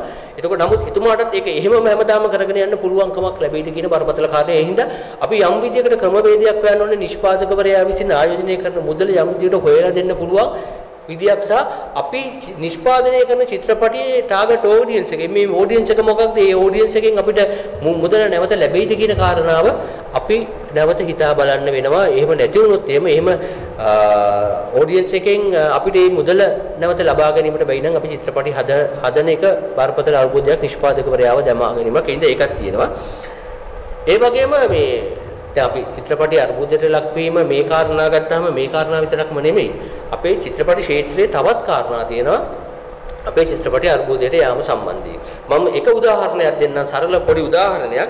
දැන් මේ මෑත කාලයේ තිබ්බනේ චිත්‍රපටි අධ්‍යක්ෂකවරුන්ගේ සංගමයේ විසින් පැවැත්වුව චිත්‍රපටි උළෙලක් සිනමා අභිමානී චිත්‍රපටි උළෙල කියලා. මේකෙදි චිත්‍රපටි 8 චිත්‍රපටි අධ්‍යක්ෂකවරු 8 දෙනෙක්ගේ චිත්‍රපටි 8ක්ද කොහෙද ප්‍රදර්ශනය කළා. එතකොට මේ උළෙලට ආවරණය කරන්න මාධ්‍ය විදිහින් රසක් ගියා. එතකොට ඒ ගිය මාධ්‍ය විදිහින් ඒක ආවරණය කරා. ඒකේ පැවැත්වපු කතා සහ ඒ සියලු දේවල් පටිගත කරගෙන ඇවිල්ලා ඒ නාලිකාවල සහ YouTube channel වල සහ සමාජ මාධ්‍ය ප්‍රචාරය කරා. එතකොට ඒ ඒ මාධ්‍ය වේදින්ට ලබා දුන්නා ප්‍රෙස් කිට් එකක් මාධ්‍ය සඳහා දෙන මාධ්‍ය කට්ටලයක් ප්‍රෙස් කිට් එකක් ලබා දෙනවා CD එකක්. එතකොට මේ CD එකේ තියෙනවා චිත්‍රපටියේ සම්බන්ධයෙන් සිනොප්සි එක එහෙම නැත්නම් කාස්ට් එක සම්බන්ධයෙන් ඒකේ ඊටම කණ්ඩායම වැඩ කරපු ශිල්පීන් සම්බන්ධයෙන් විස්තර තියෙනවා. ඊට අමතරව ඡායාරූප තියෙනවා. ඊටත් අමතරව මේකේ තියෙනවා මේ චිත්‍රපටි අටේම ට්‍රේලර් ටික දාලා තියෙනවා. පූර්ව ප්‍රචාරක පට ටික ට්‍රේලර් ටික දාලා තියෙනවා. එතකොට මේ මාධ්‍ය වේදින් ටික ඇවිල්ලා තමන්ගේ තියෙන channel සහ තමන් දෙන channel වලට YouTube channel රාශියකටත් මේ ට්‍රේලර් ටික දෙනවා මෙන්න මේක පබ්ලිසිටි කරලා දීපන් කියලා. ඉතින් ලංකාවේ YouTube channel ප්‍රධාන පෙළ YouTube channel රසක් මේ ටික තමන්ගේ channel වල ගහලා මේ චිත්‍රපටි අධ්‍යක්ෂකවරුන්ගේ චිත්‍රපට වලට ප්‍රචාරය ලබා දෙන්න තමන්ගේ YouTube channel වලින් ප්‍රචාරය ලබා දෙනවා. දැන් මොකද වෙන්නේ මේ ටික ගැහුවට පස්සේ උදේකාන්ත වර්ණ සූර්ය මහත්මයා ඔන්න ගහනවා කොපිරයිට් එකක්. එයාගේ ට්‍රේලර් එකට කොපිරයිට් එකක් ගහනවා ලංකාවේ තියෙන ප්‍රධාන පෙළේ YouTube channel කිහිපයකටම ඒ ඒ කොපිරයිට් එක වදිනවා. දැන් මගේ ෆුල් ෆිල්ම් අපේ තියෙන YouTube channel එකටත් ඒක ඒ විදිහටම වැදුනා. එතකොට දැන් YouTube channel එකක් ගොඩනගන්න බිල් කරන්න ලොකු කැපවීමක් කරන්න ඕනේ. සමහර YouTube channel තියෙන අවුරුදු ගණන් තිස්සේ ස්ටාෆ් එක දාගෙන කණ්ඩායම් දාගෙන පඩි ගෙවාගෙන වැඩ කරන YouTube channel ගොඩක් තියෙනවා. එතකොට ඒ YouTube channel කිහිපයකටත් ඇදිලා තිනවා. එතකොට ඒ YouTube channel එකට copyright එකක් වදිනවයි කියන්නේම ඒ වගේ ළඟ ළඟ copyright දෙකක් හරි තුනක් හරි වැදුනයි කියන්නේ YouTube channel එක ඉවරයි. ආයේ ගොඩ දාන්න බෑ, ගන්න බෑ YouTube channel එක වහලා දාන්න වෙන්නේ. එතකොට ඒ බරපතල தත්ත්වයේ තියෙනවා. එතකොට උදේකාන්ත මහත්මයා එහෙම කරනකොට චන්න පෙරේරා මහත්මයා මොකද කරන්නේ? තමන්ගේ මීඩියා සෝෂල් මීඩියා සෙක්‍රටරි ලවා ලියුමක් කියවනවා YouTube channel වලට. මොකද්ද කියන්නේ? මගේ ට්‍රේලර් එක ඔබේ YouTube නාලිකාවෙන් ගලවන්න. එහෙනම් මොන රෙද්දටද දුන්නේ? අර CD එකක දාලා මාධ්‍ය කට්ටලයක් විදිහට දුන්නේ මොකටද? ගලවන්න නම්, කොපිරයිට් ගහන්න නම්. එහෙම නොදී ඉන්න තිබ්බනේ. ඔෆිෂියලි නේ දෙන්නේ. ආ ඒක බරපතල අර්බුදයක්. එතකොට එතකොට වෙන්නේ මේ මේවා ගහලා තිබ්බ YouTube නාලිකා ඔක්කොම අර්බුදයකටපත් වෙනවා. සමාජ මාධ්‍ය Facebook තියෙනවා මේ ඔක්කොම අර්බුදයකට ලක් වෙනවා. එතකොට වෙන්නේ කවදාවත් මේ ලංකාවේ චිත්‍රපටි අධ්‍යක්ෂකවරුන්ගේ ට්‍රේලර් එකක් ගහන්න ෆිල්ම් එකක් සම්බන්ධයෙන් කෑල්ලක් කපලා දාලා ඉවරලා මේක ප්‍රචාරපටයක් දෙන්න හඬපටයක් දාන්න ඒවට මේ YouTube සහ සමාජ මාධ්‍ය මෙරි වෙනවා. දැන් ගොඩක් අය හිතනවා මේ ප්‍රධාන ධාරාවේ රූපවාහිනී සහ අනිකුත් මේ වලින් විතරයි මේ Tamanට ප්‍රචාරය කළ වෙන්නේ. නමුත් මතක තියාගන්න අද වන විට සමාජ මාධ්‍ය කියන්නේ ලංකාවේ තියෙන අතිශය ප්‍රබල මාධ්‍යයක්. මේ ප්‍රධාන දාලාවේ නාලිකාව වලට වඩා ලොකුවට වෛරල් වෙනවා මේ සමාජ මාධ්‍ය යම් දෙයක් ගියාට පස්සේ. ලක්ෂ ගණනින් වෛරල් වෙන්නේ. එතකොට එහෙම වුණාම ලොකු ප්‍රචාරයක් ලබා ගැනීමට හැකියාව ලැබෙනවා මේ මේ සමාජ මාධ්‍ය හරහා. එතකොට නිකමට හිතන්න මේ YouTube channel ටික ඊළඟට මේ publicity දුන්නේ නැත්නම් මොකද වෙන්නේ කියලා? ආ දැන් අපේ රටේ සිනමා කර්මාන්තය කඩන් වැටෙන්න වෙලා තියෙන්නේ ඔන්න ඕක තමයි. දැන් ගොඩක් අධ්‍යක්ෂකවරු හිතනවා තමන්ගේ YouTube නාලිකාවේ 50000 දින්නේ මේ 50000ට තමන්ගේ ට්‍රේලර් එක ගහ ගන්නවා ගහලා මේ 50000ට විතරයි මේ 50000 බලන්නෙත් නෑ සමහරවිට ඒකෙන් 10000යි ටයිප් YouTube channel එක පේන්නේ සමහරවිට මේ YouTube මේ මේ ක්ලිප් එක පේන්නේ සහ බලන්නේ එතකොට ඒ ටිකට පෙන්නුවාම තමන්ගේ ෆිල්ම් එක දුවනවා. හැබැයි එළියේ YouTube නාලිකා රැසක් තියෙනවා ලක්ෂ 2 3 4 සබ්ස්ක්‍රයිබර්ස්ලා ඉන්නේ. එතකොට එවැනි නාලිකා 100ක විතර වැදුනා නම් ට්‍රේලර් එකක් මොකද වෙන්නේ? බැල් බැඳගෙන චිත්‍රපටිය මිනිස්සු බලන්න එන්නේ පබ්ලිසිටියට. නමුත් අධ්‍යක්ෂකරුන්ට මොකද වෙලා තියෙන්නේ අර හම්බෙන ලක්ෂ ගාන පැල් බැඳගෙන දුවලා පබ්ලිසිටි හම්බෙලා චිත්‍රපටිය දුවලා ලැබෙන ලක්ෂ ගානට වඩා අර තමන්ගේ නාලිකාවේ YouTube channel එකේ ක්ලිප් එක ගහගෙන ලැබෙන රුපියල් 20000 25000 තමයි වැදගත් වෙන්නේ. අරකට කෙලව ගන්නවා මෙන්න මේ පොඩි ගානට තණ්හා වෙලා. හැබැයි ලංකාවේ ගජමෑන්ට මොකද උනේ? ලංකාවේ ගජමෑන් චිත්‍රපටිය ඔය වගේ තණ්හාවක් වෙන්නේ නැතුව ගජමෑන් චිත්‍රපටියේ අධ්‍යක්ෂකවරයා ඇතුළු ඒ කණ්ඩායම මොකද කරේ YouTube සියලු YouTube නාලිකා සියලු Facebook නාලිකා කොල්ලයි බල්ලයි හැම එකටම දුන්නා ට්‍රේලර් එක ගහන්න කියලා. කිසිම එකකට කොපිරයිට් ගහුවෙත් නැහැ. ඕනම කෙනෙක්ට ඒක ගහන්න දීලා ඒ පබ්ලිසිටි ලබා ගත්තා. ඒක තමයි ලක්ෂ ගණන් ආදායම ලබලා මේ බැපල් මැදගෙන ප්‍රේක්ෂකයෝ මේ ගජමෑන් බලන්න ගත්තා. ඒක මිනිස්සු අතරට ගියා. මිනිස්සුන්ට බලන්න හිතෙන තරමට පබ්ලිසිටි හම්බුන සමාජ මාධ්‍යය. ඒක තමයි සමේ සමාජ මාධ්‍යයේ තියෙන විද්‍යාව. ඒක තේරුම් ගන්නේ නැහැ අපේ. දැන් ලෝකයේ අනිත් රටවල ප්‍රධාන පෙළේ චිත්‍රපටි සමාගම් තමන්ගේ චිත්‍රපටයක් රිලීස් කරනකොට ට්‍රේලර් එකේ වර්ෂන් ගණනාවක් හදනවා. හදලා ඒක කොපිරයිට් ඕන එකට ගහගන්න කොපිරයිට් අයිතිය දෙනවා. එතකොට ඒව හැම ලෝකෙ හැමතැනම වදිනවා. සමහර අය ඒවට ਵਿਚාර කර කර කොපිරයිට් ගග කරන්න පුළුවන් ඔක්කොම කරනවා. ඒකෙන් වෙන්නේ ඒ චිත්‍රපටි මිනිස්සු බලන බලන්න උනන්දු වෙන වාසාව ඇති කරන ප්‍රේක්ෂක ප්‍රමාණය වැඩි වෙනවා. ලොකු ප්‍රේක්ෂක ප්‍රමාණයක් ඒ චිත්‍රපටි එනකම් බලන් ඉන්නවා ඊට පස්සේ. සමහරු කරන්නේ ඕවා ඔය ට්‍රේලර් හරහා සහ සින්දු හරහා ඒව හරහා බලන්න ආසාවක් ඇති කරන හැමතැනම මේක ගහලා. අපේ රටේ මොකද කරන්නේ? අධ්‍යක්ෂකවරයා තමන්ගේ නාලිකාවේ ඉන්න 20000 20000 ඌට විතරක් ගහ ගන්නවා. චිත්‍රපටිය ආවම වැඩිමුණොත් ලංකාවේ මෙහෙම චිත්‍රපටියක් ආවයි කියලා දන්නේ 10 10 12000යි. ඉතින් චිත්‍රපටිය ඊළඟ දවසේ ගැලවෙනවා. වියදම් කරන එක නිෂ්පාදකයාට හම්බෙන්නේත් නැහැ. අධ්‍යක්ෂකවරයාට කිසි දෙයක්වත් නැහැ. ඇහුවොත් කියන්නේ සිනමා කර්මාන්තයට මේ අපේ ගොම් මෝඩ තීරණ හින්දා තමයි මේ මේ අපි මේ ප්‍රචාරණය සම්බන්ධයෙන් දරන ආකල්ප නිසා.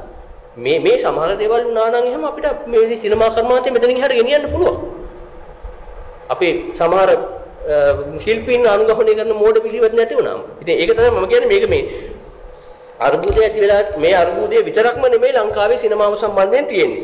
ඊළඟට අවමවාදී සිනමාව සම්බන්ධයෙන් අපි කතා කරනකොට අපි අවමවාදී චිත්‍රපටයක් කරනවා කියන එක ගත්තාම පළවෙනිම කාරණේ තමයි අවමවාදී ගති ලක්ෂණ චිත්‍රපටයකට එනකොට ඒක හරහා විශේෂයෙන්ම අපිට අපිව පොළඹවන අවමවාදී චිත්‍රපටයක් අපේ චිත්‍රපටිය කරන්න යන අනවශ්‍ය දේවල් වලින් අපිව ඈඩ් කරන්න. චිත්‍රපටියට අපි ඈඳ ගන්න අනවශ්‍ය දේවල්, චිත්‍රපටියේ තියෙන අනවශ්‍ය දේවල් ඊළඟට චිත්‍රපටයට අදාළ නොවන දේවල් ඊළඟට ප්‍රොඩක්ෂන් එකට අදාළ නොවන දේවල් ස්ක්‍රිප්ට් එකට අදාළ නොවන දේවල් ඒ ඔක්කොම මේකට දාගන්න එක නවත්තන්න අවමවාදී අපිට අපිව පොළඹවන. ඒක ඒක හොඳ දෙයක්. අපි අතිරික්ත දේ අයින් කරනවා අනවශ්‍ය දේ අයින් කරනවා අවශ්‍ය දේ විතරක් අපි රඳව ගන්නවා අපේ ස්ක්‍රිප්ට් එක බොහෝ විට සරල වෙනවා නිර්වුල් වෙනවා ඊළඟට ඒක අව්‍යාජ වෙනවා සමහරවිට අපි සමහර කැලි ව්‍යාජ දේවල් දානවා අපි අපි අපි සමහර දේවල් අතින් ඇඩ් කරලා මේ ස්ක්‍රිප්ට් එක ඉල්ලන්නේ නැති දේවලුත් දාලා ස්ක්‍රිප්ට් එක ඉල්ලන්නේ නැති නළු නිලියෝ දාලා ස්ක්‍රිප්ට් එක ඉල්ලන්නේ නැති සෙට් දාලා එහෙමත් කරන ඒවා තියෙනවා. එතකොට මේ සියල්ලම මේ අවමවාදී ගති ලක්ෂණ මේ එක්ක ගියාම අපිට යම් විදියකට වෙනම සිනමා කලාවක් එක්ක යන්න පුළුවන් කියන කාරණාව සංවාදයට ලක් විය යුතුයි කියන කාරණේ මම මේකත් එක්ක අවබෝධ කරගත්තා. සමහර විට මෙහෙම එකක් තියෙනවා මේ සමහර විට ඔය ලොකු සෙට් වල තියෙන ෆිල්ම් බලලා බලලා බලලා බලලා දැවැන්ත චිත්‍රපටි නරබලා ඉන්න ප්‍රේක්ෂකාගාරයකට මේ අවවාදයේ හරහා එන සරල අව්‍යාජ චිත්‍රපටයක් කොහොමද ඉරවයිද දන්නේ එහෙම එකකුත් තියෙනවා. ඒකේ අනිත් පැත්තක් තියෙනවා මේ දැවැන්ත ලොකු සෙට් එකක ලොකු දර්ශන තලයක විශාල කණ්ඩායම් එක කරන චිත්‍රපටි බලලා බලලා බලලා එපා වෙලා තියෙන පිරිසකට අර අලුතෙන් එන මේ වගේ ශානරයක ෆිල්ම් සමානලාට වැළඳ ගැනීමට හැකියාවක් සමහරලාට තියෙන්න පුළුවන්. මොකද දැන් අපි සමහරලාට දැන් අර ඒ දවස්වල තිබුණ 60 70 දශකයේ සමහර දේවල් ආයෙත් වැළඳ ගන්න ඕනේ. ආයෙත් ඒ ස්ටයිල් ඒ විලාසිතා මේ සියලු දේවල් අපි ආයෙත් වැළඳ ගන්න. ඒකට එහෙම එහෙම එකක් වෙන්නත් පුළුවන්. ඊළඟට ලංකාවේ තරුණ પરම්පරාව විශේෂයෙන්ම ඊළඟට මම කතා කරන්න කැමති ලංකාවේ ඊළඟට එන තරුණ પરම්පරාව නවක සිනමාකරුවෝ කෙටි චිත්‍රපටිකරුවෝ වගේ අය යම් විදියකට අවම සිනමාව සම්බන්ධයෙන් හදාරනවා නම් ඒ සම්බන්ධයෙන් ගැඹුරු අධ්‍යයනයක යෙදෙනවා නම් ඒ සම්බන්ධයෙන් හොයලා බලන්න උනන්දු වෙනවා නම් මම හිතන්නේ ඒක වැදගත් වෙයි ලංකාවේ සිනමාවට කියලා. මොකද විශේෂම කාරණාව තමයි අපි මේ වෙන මේ මොහොතේදී ගොඩක් වෙලාවට මම දන්න චිත්‍රපටි අධ්‍යක්ෂකවරු ඉගෙන ගන්න ශිෂ්‍යයෝ අපිත් එක්ක අපෙන් වැඩමුළු වල ඉගෙන ගන්න සිනමා ශිෂ්‍යයෝ කියලා චිත්‍රපටි කරන ශිෂ්‍යයෝ මේ හැම කෙනෙක්ම මම දන්න විදිහට ස්ක්‍රිප්ට් අතේ තියන් ඉන්නවා සල්ලි හම්බ වෙනකම්. ස්ක්‍රිප්ට් එක අතේ තියාගෙන ඉන්නවා සල්ලි හම්බ වෙනකම් අපිට මෙච්චර ඕනේ මෙච්චර ඕනේ නැත්තම් කරන්න බෑ. මමත් එහෙම සමහරලාට ඉන්නවා දැන් මේ. අපිටත් එහෙම තියෙනවා. එතකොට දැන් මටත් තේරිච්ච කාරණාවක් තමයි මේ අවමවාදී සිනමාව හදාarලා අවමවාදී චිත්‍රපටි හදාarලා අවමවාදී ස්ක්‍රිප්ට් එකක් ලියන්නේ කොහොමද ප්ලොට් එකක් කොහොමද තෝරගන්නේ ඒකත් එක්ක අවමවාදී ප්‍රොඩක්ෂන් එකක් කොහොමද කරන්නේ කියන එක තවදුරටත් හැදෑරිවොත් අපිට යම් විදියකට ලොකු සංකීර්ණ දේවල් වලට යන්නේ නැතුව හොඳ ප්‍රේක්ෂකාගාරය ආකර්ෂණය කරන්න පුළුවන් චිත්‍රපටි හදන්න හැකියාවක් ලැබෙනවයි කියන කාරණා තමයි මට තේරෙන්නේ එතකොට අපිට අර සල්ලි හම්බ වෙනකන් කවුරු හරි නිෂ්පාදකයෙක් හම්බ වෙනකන් සිනමාකරුවෙක් වීමේ ඔළුවේ තියෙන හීනේ තියාගෙන ඉන්නේ නැතුව ඊට කලින් අපිට හැකියාවක් ලැබෙනවා මිනිස්සු ආකර්ෂණය කරගන්න විදිහට සරලව අව්‍යාජව අවශ්‍ය දේවල් පමණක් එකතු කරගත්ත හොඳ අවමවාදී සිනමා පටයක් කරන්න. ඒක ලංකාවේ කෙටි චිත්‍රපටිකරුවන්ට අතිශය වැදගත්. මොකද අපි මම 2004 වගේ පළවෙනි කෙටි චිත්‍රපටය කරන්නේ තුනන සිනමා එකකයේත් එක්ක එකතු වෙලා එතකොට එතනින් තමයි අපි කෙටි චිත්‍රපටි සංගමය පටන් ගන්නෙත් අපිත් එක්ක හිටපු කණ්ඩායම් රැසක් එකතු වෙලා එතකොට එදා ඉඳන් අපි දැනනකොට අපි කෙටි චිත්‍රපටි සංගමයක් විදිහට ඇවිල්ලා අපි ඊළඟ පරම්පරාවට ඒක බාර දීලා තියෙනවා කෙටි චිත්‍රපටි සංගමය කරගෙන යන්න. එතකොට ඒ කාලය තුල අපි කරපු වැඩමුළු අපි කරපු චිත්‍රපටි සම්මාන උළෙලවල් විචාර වැඩසටහන් මේ හැම එකක්ම බලපුවම ලංකාවේ ඒ කාලේ අපිට මේ අවුම්වාදී සිනමාවක් අපිට හදාරන්න ලැබුණා නම් ඒක ලොකු දෙයක් කියන කාරණා අපිට දැනෙනවා. ඒක බරපතල තියෙන්නේ ඒක අපිට හදාරන්න ඒ කාලේ ලැබුණ නැති එකේ හින්දා තමයි අපේ ගොඩක් අයට සිනමාව නිර්මාණ කරන්නෙම නැතුව තමන්ගේ හීන ඔළුවේ තියාගෙන සිනමා කලාවෙන් අයින් වෙලා වෙන වෙන රුටින් කරන්න අද සිද්ධ වෙලා තියෙන හින්දා ආමවාදී සිනමාව හැදෑරීම තරුණ පරම්පරාවට විශේෂයෙන්ම සරසවි වල සහ සිනමා සිසුන්ට අධ්‍යාපනය ලබන සිසුන්ට බොහොම වැදගත්. ඊළඟට අවසාන වශයෙන් මම හැරෙන්නම් මේ මිඩ්නයිට් ට්‍රේන් uh, චිත්‍රපටිය දෙසට පොඩ්ඩක්. Uh, මම කැමති මේ මිඩ්නයිට් ට්‍රේන් චිත්‍රපටිය ගැන පොඩ්ඩක් කතා කරන්න. Uh, එකක් තමයි මම මේ චිත්‍රපටියට කැමති. මිඩ්නයිට් ට්‍රේන් චිත්‍රපටියට මම කැමති. හැබැයි කැමති වගේම සමහර තැන්වල තියෙනවා මට ප්‍රශ්නකාරී සමහර අවස්ථා සහ සමහර දේවල් ඒකත් සම්බන්ධව මම පොඩි අදහසක් පළ කරන්න කැමතියි. එකක් තමයි මේ මිඩ්නයිට් ට්‍රේන් චිත්‍රපටිය ඇතුලේ ඔය අපි කතා කරන අවමවාදී ගති ලක්ෂණ හොඳට තියෙනවා. අවමවාදී ගති ලක්ෂණ තියෙනවා. තවදුරටත් මේ අවමවාදී ගති ලක්ෂණ මේකට ඇතුල් කරගැනීමේ හැකියාව තිබුණා කියන කාරණේ මම විශ්වාස කරනවා. මීටත් වඩා අවමවාදී ගති ලක්ෂණ ඇතුල් කරගෙන අවමවාදී වීමේ හැකියාවක් මේකට තිබුණයි කියන කාරණේ මට තියෙනවා. ඊළඟට මේකට තෝරගෙන තියෙන ප්ලොට් එක ප්‍රස්තුතය සහ මේකේ ස්ක්‍රිප්ට් එක මේකේ කතාවස්තුව මේ අවමවාදී සිනමා නිර්මාණයකට ගැලපෙනවා සහ ඒක කරන්න පොළඹවනවා කියන කාරණේ පේනවා.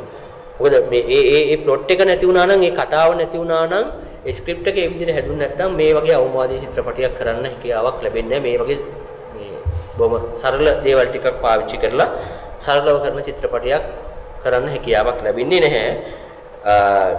ඊළඟට මේකෙදි එකක් තමයි ලොකේෂන් එක ඇතුලේ නළු නිළිය හැසිරීමේදී යම් සංයමයක් තිබුණා. ඒ සංයමයට මම කැමතියි. ඊළඟට ප්‍රධානම දේ මේ චිත්‍රපටිය මම කැමතිම දේ තමයි තියෙන කුතුහලය. චිත්‍රපටිය ආරම්භයේ ඉඳලා අවසානයේ වෙනකොට එක එක දිගට ඒ චිත්‍රපටයේ තියෙන කුතුහලය එක දිගට රඳවා ගැනීමට හැකියාවක් තිබෙනවා. ඒ කුතුහලය හැබැයි මේ කුතුහලය තවදුරටත් ඉදිරියට ගෙන යාමේ හැකියාවක් තිබුණා කියන එක තමයි මම කියන්නේ. මීටත් වඩා තැනකට ගෙනහිල්ලා මේක මේව කරන්න පුළුවන් අවසන් කරන්න හැකියාවක් තිබුණා කියන කාරණේ තමයි මම මේව හිතන්නේ. ඊළඟට කැමති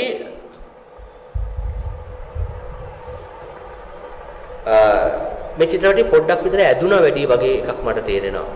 මේ මේ මේ චිත්‍රපටිය සමහර තැන් සමහර සිද්ධීන් සහ ඒවා මීට වඩා තව පැක් වෙන්න තිබුණා කියන කාරණේ අයින් වෙන්න තිබුණා පැක් වෙන්න තිබුණා කියන කාරණේ මේක චුට්ටක් ඇදුනා වැඩි වගේ එකක් මට තියෙනවා. ඒ හින්දා ඒ ටික පොඩ්ඩක් එහාම යවුණා නම් මේ චිත්‍රපටිය මීට වඩා යම් තැනකට වෙන්න පුළුවන්. ඊළඟට මේ චිත්‍රපටිය බොහොම අවම දෙබස් තියෙන්නේ. දෙබස් අතිශය සීමිත ප්‍රමාණයක් තියෙන්නේ. හැබැයි දෙබස් නොතිබුණාට ඒ තියෙන දෙබස් ටික ප්‍රබලයි. දෙබස් නැති වුණාට මේකේ රූපය ප්‍රබලයි. මේ චිත්‍රපටියේ දෙබස් නැති වුණාට ඉතා ප්‍රබල රූපයක් මේක ඇතුලේ තියෙනවා. ඒ රූපය ඉතා හොඳින් හසුරුවලා තියෙනවා සහ ඒක හොඳට කැමරාවට ග්‍රහණය කරගෙන තියෙනවා. ඒකේ අඩුපාඩු තියෙන සමහර තැන් තියෙනවා. නමුත් සමස්තයක් විදිහට අපි දැකලා තියෙන සමහර චිත්‍රපටිත් එක්ක බලද්දී මේක ඉතා හොඳ තත්යකට තුසිත මහත්තයට කරන්න හැකියාව ලැබිලා තියෙනවා කියන එක අපිට පේනවා. ඒ අර තියෙන දෙබස් කීප ඉතා ප්‍රබල ලෙස හසුරුවනවා.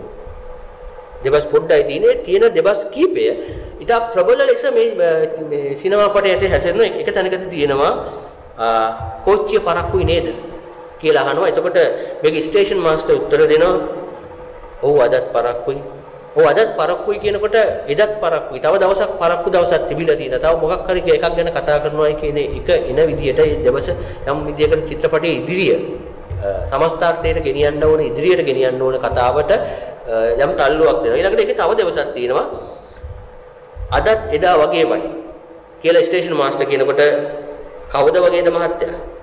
ඇයි උඹට මතක නැද්ද? මීට අවුරුද්දකට කලින් ඒ කියන්නේ මීට අවුරුද්දකට කලින් මේ සිද්ධියක් වෙලා තියෙනවා. මේ කලාගෙන යනකොට අපි කුතුහලයත් එක්ක යනකොට මීට අවුරුද්දකට කලින් සිද්ධියක් වෙලා තියෙනවා කියලා පොඩි දෙබස් දෙක තුනෙන් මේ චිත්‍රපටිය ඇතුලේ ගලාගෙන යන සමස්තාර්ථයට ඕන කරන ඒ ඒ පෙළඹවීම අපිට ප්‍රේක්ෂකයන් විදිහට අපිට ලබා දෙනවා මේ කුතුහලයත් එක්කම ඒ වගේ අවස්ථා ගණනාවක්ම තිබෙනවා. එකක් තමයි මේ මේක තියෙන ඊළඟට රූපමය සංයමය. රූපමය සංයමයට මම බොහොම කැමතියි.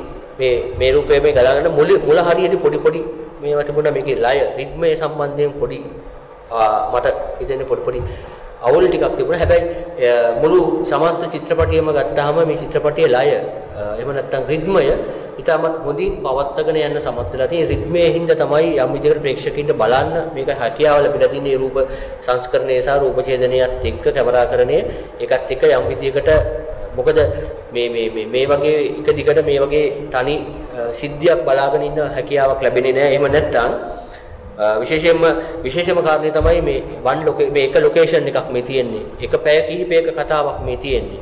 එතකොට එකම නළු නිළියෝ කණ්ඩායමක් මේක ඇතුලේ ඉන්නේ එකම සිද්ධියක් මේක ඇතුලේ තියෙන්නේ. එතකොට මේ මේ මේ වන් ලොකේෂන් මේ එකම සිද්ධිය එකම කතාව පැයයි විනාඩි 7ක් තිස්සේ අපි එක දිගට බලන් ඉන්නකොට ඇත්තටම හරියට කරේ නැත්නම් ඒක නීරස වෙන්න තිබුණා.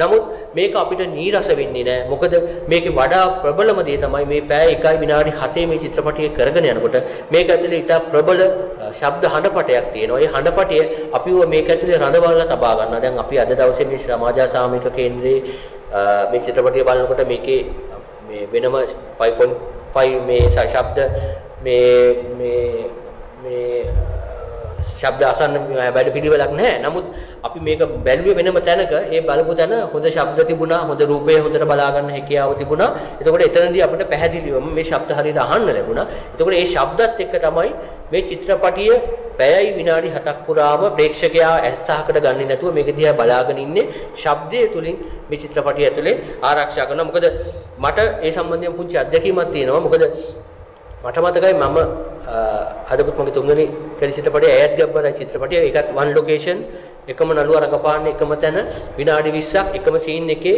එකම කතාව එකම ඇඳුම ඇඳගෙන කරන එකක්. එතකොට මම මගේ වැඩමුළු වල ළමයින්ගෙන් එකපාරක් ඔක පෙන්වන්න ඉස්සෙල්ලා ඇහුවා එකම නළුවා එකම ලොකේෂන් එකේ එකම සිද්ධිය එකම ඇඳුම ඇඳගෙන විනාඩි 20ක් පුරා එක දිගට රඟපාන ඕගලන්ට බලන් ඉන්න පුළුවන් ද චිත්‍රපටයක් කියලා. ඒගොල්ලෝ හැමෝම කිව්වේ එතන හිටිය හැම ළමෙක්ම කිව්වේ නෑ ඒක මේ අපිට බලන්න බෑ මෙතන ඉන්න සුදේශීයම සුදේශුත් ඒකට සාක්ෂි දරයි. එතකොට ඒ හැමෝම කිව්වේ නෑ එහෙම බලන් ඉන්න අමාරුයි කියලා. හැබැයි චිත්‍රපටිය පෙන්වලා පෙන්නලා චිත්‍රපටිය බැලුවට පස්සේ ඊට පස්සේ මම මේගොල්ලන්ගෙන් අහුවා මොකලන්ට මේක බෝරින් වුණාද එක දිගට බලන් ඉන්න බැරි වුණාද කියලා නෑ එක දිගට බලන් ඉන්න පුළුවන් වුණා. අවුලක් නෑ එක දිගට බලන් ඉන්න. ඒකට ඒකට හේතුව උනේ මගේ චිත්‍රපටියේ ප්‍රබල තියෙන්නේ ඩයලොග්ස්. දෙබස් දෙබස් හැම වෙලෙම ප්‍රබලයි. ඒක ඔඩියන්ස් පංච් වෙනවා. ප්‍රේක්ෂකාගාරයත් එක්ක සංවාදයකට ලක් වෙනවා. ඒ දෙබස් ඒ හින්දා ඒක හින්දා කොච්චර ඒකාකාරී දෙයක් දෙයක් වුණත් මේ විනාඩි 20ක් විතර බලා ගන්න පුළුවන් වුණා. ඒකයි. දැන් එවැනි ඒවා තියෙනවා. සමහර වෙලාවට දැන් අර වගේ දෙබස් මූලික වෙලා දෙබස් ප්‍රබල හින්දා දීර්ඝ වේලාවක් බලන් ඉන්න පුළුවන්කම තිබෙන එකම සීන් එකදී. සමහරවිට ශබ්දය, සංගීතය. ඒ හින්දා ප්‍රේක්ෂකයා ආකර්ෂණය වෙලා බලන් ඉන්න පුළුවන්. එහෙම නැත්නම් රංගපාන නළු නිළියෙක්. අපි ගමු ලස්සන නිළියෙක් බලන් ඉන්න ආස හිතන ඇඟපසකක් තියෙන නිළියෙක් එක දිගට විනාඩි ගාණක් හිටියත් අපිට සමහරකට බලන් ඉන්න හිතෙනවා. එතකොට එහෙම නළුවා මූලික වෙලා නනිරිය මූලික වෙලත් අපිට එහෙම එක දිගට බලන් ඉන්න හැකියාවක් තිබෙනවා. එහෙම නැත්නම් ඒ දින කතාවස්තු. සමහරට ඒ කතාවස්තු අපිට ආවගන්තුක දෙයක් අපිට අලුත් දෙයක් නම් අපි සමහරට කොච්චර එක දිගට ෆ්‍රේම් එක බලදියා බලන් ඉන්න තිබුණත් අපි ඒක ඒකෙත් එක තියෙන ආසාවත් එක්ක අපි බලන් ඉන්න පුළුවන්. එතකොට එහෙම දේවල් විශේෂ දේවල් වෙන්න පුළුවන්. එතකොට මේකත් ඒ වගේ තමයි ශබ්දයේ ප්‍රබල නිසා අපිට බලන් ඉන්න හැකියාව ලැබෙනවා. විශේෂයෙන්ම කුතුහලයත් ශබ්දයත් රූපයත් මේ තුන හරියට එකතු වෙලා තියෙන නිසා මේ ඒකත් එක ඒක ඒක ඇතුලේ සංකේත. සංකේත ගොඩාක් තියෙනවා. මේක ඇතුලේ තියාගේ විශේෂයෙන්ම ප්‍රබල සංකේත ගොඩක් තියෙනවා. පත්තරේ වගේ එකක් තියෙනවා සංකේත. ඊළඟට ලියපැල්ලා වගේ ඒවා තියෙනවා. එතකොට මේ මේ මේ චිත්‍රපටය ඇතුලේ අති විශාල ප්‍රමාණයක් සංකේත තියෙනවා විශේෂයෙන්ම ශබ්දවල ගත්තාම ඔරලෝසිය හඬ සහ උලලේනාගේ හඬ ඊළඟට වයසක මිනිසයාගේ අර හුස්ම ගන්න අමාරුවෙන් හුස්ම ගන්න ගොරගොර සද්දයේ එක්ක එන හද ගැහෙන හුස්ම ගන්න හඬ මේ මේ මේවා මේ චිත්‍රපටයේ গুপ্ত গুপ্ত බව සහ මේ මේ මේ චිත්‍රපටයේ අපි තියාගන්න පුළුවන් සංකේත මේ ශබ්දයත් එක්ක විශේෂයෙන්ම මේ මේ මේ ඔර්ලූසියේ සද්දි. ඔර්ලූසුවේ නාදයත් එක්ක කටු කරගෙන නාදයත් එක්ක එන ඔර්ලූසියේ සද්දෙයි. අර මිනිහා උස්ම ගන්න එකයි මේ කාලය සහ ජීවිතය. උස්මත් එක්ක එන ජීවිතය. මේ කාලය සහ ජීවිතය මේක පිට පිටපතේ ස්ක්‍රිප්ට් එකට සහ කතාවටත් බද්ධ වෙනවා එක එක පත එක එක පැත්තකින්. එතකොට මේ මේ මේ දේවල් එක්ක මේ චිත්‍රපටයේ යම් විදියකට ප්‍රේක්ෂකයාව රඳවා ගන්න හැකියාව ලැබෙනවා සහ මේ මේ මේ භාවිතා කරලා තියෙන සංකේත සහ මේවත් එක්ක චිත්‍රපටයේ යම් තරක් දුරට මේ කියන්න යන කතාව පොඩි තීව්‍ර වීමක් වෙනවා. ඒක ඇත්තටම මේ මේ චිත්‍රපටයේ ආලෝකයක් මේ දෙන දෙයක් වෙනවා. ඊළඟට මේ චිත්‍රපටයේ තියෙන ඊළඟ මේ අවුල තමයි මේ මට දැනෙන මේක රංගපාන සමහර නළු නිලියන් විශේෂයෙන්ම අතිරේක චරිතවලට රංගපාන නළු නිලියන් රංගනයේ ප්‍රබලතාවයේ මදි කියන කවුරුන්ගේ චරිතවල ජීවත් වෙන්නේ නැතිකම. ඒක තියෙන ඔවුන් රංගපාන කියන අපිට පේනවා. මේ ගොඩක් වෙලාවට ඔවුන් ඒ චරිතත් එක්ක බද්ධ වෙලා ඒ සිද්ධියත් එක්ක බද්ධ වෙලා නෙමෙයි ඉන්නේ. ඒකට ආගන්තුකයි ඒකට පිටින් ඉන්නේ කියන එක අපිට තේරෙනවා. විශේෂයෙන්ම ජනක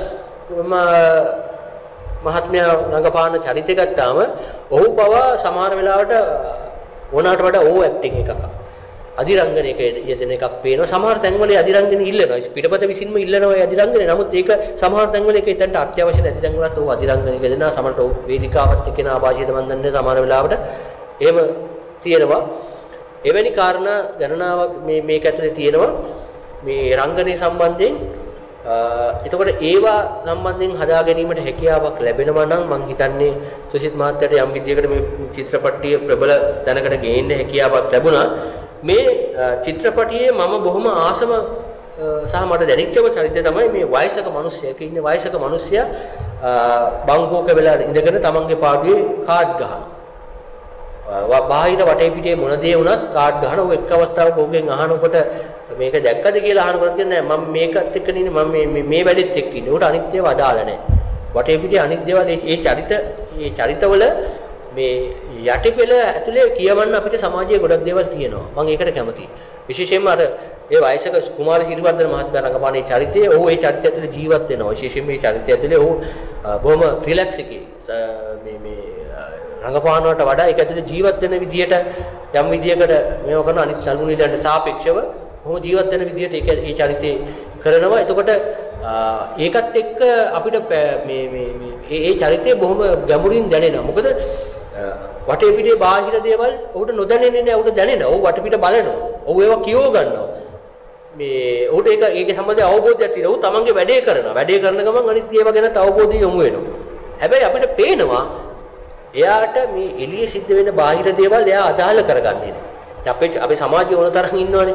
අනිත් එළියේ සමා ගොඩක් දේවල් සිද්ධ වෙනවා. ආ එළිය මර්ධනයන් සිද්ධ වෙනවා. එළියේ අත්අඩංගුවට ගැනීම සිද්ධ වෙනවා. වගේ ගොඩාක් දේවල් සිද්ධ වෙනවා. හැබැයි මේ මොන දේවල් සිද්ධ වුණත් අපි දන්නවා. අපි දන්නවා මේක සමාජලට අපිටත් මේක බලපෑමක් කරන්න පුළුවන්. හැබැයි අපිට ඒක අදාළ අපිට අදාළ නෑ වගේ එක්ක අපි ජීවත් වෙනවා. මොකද අදාළ කරගත්තොත් අවුල්.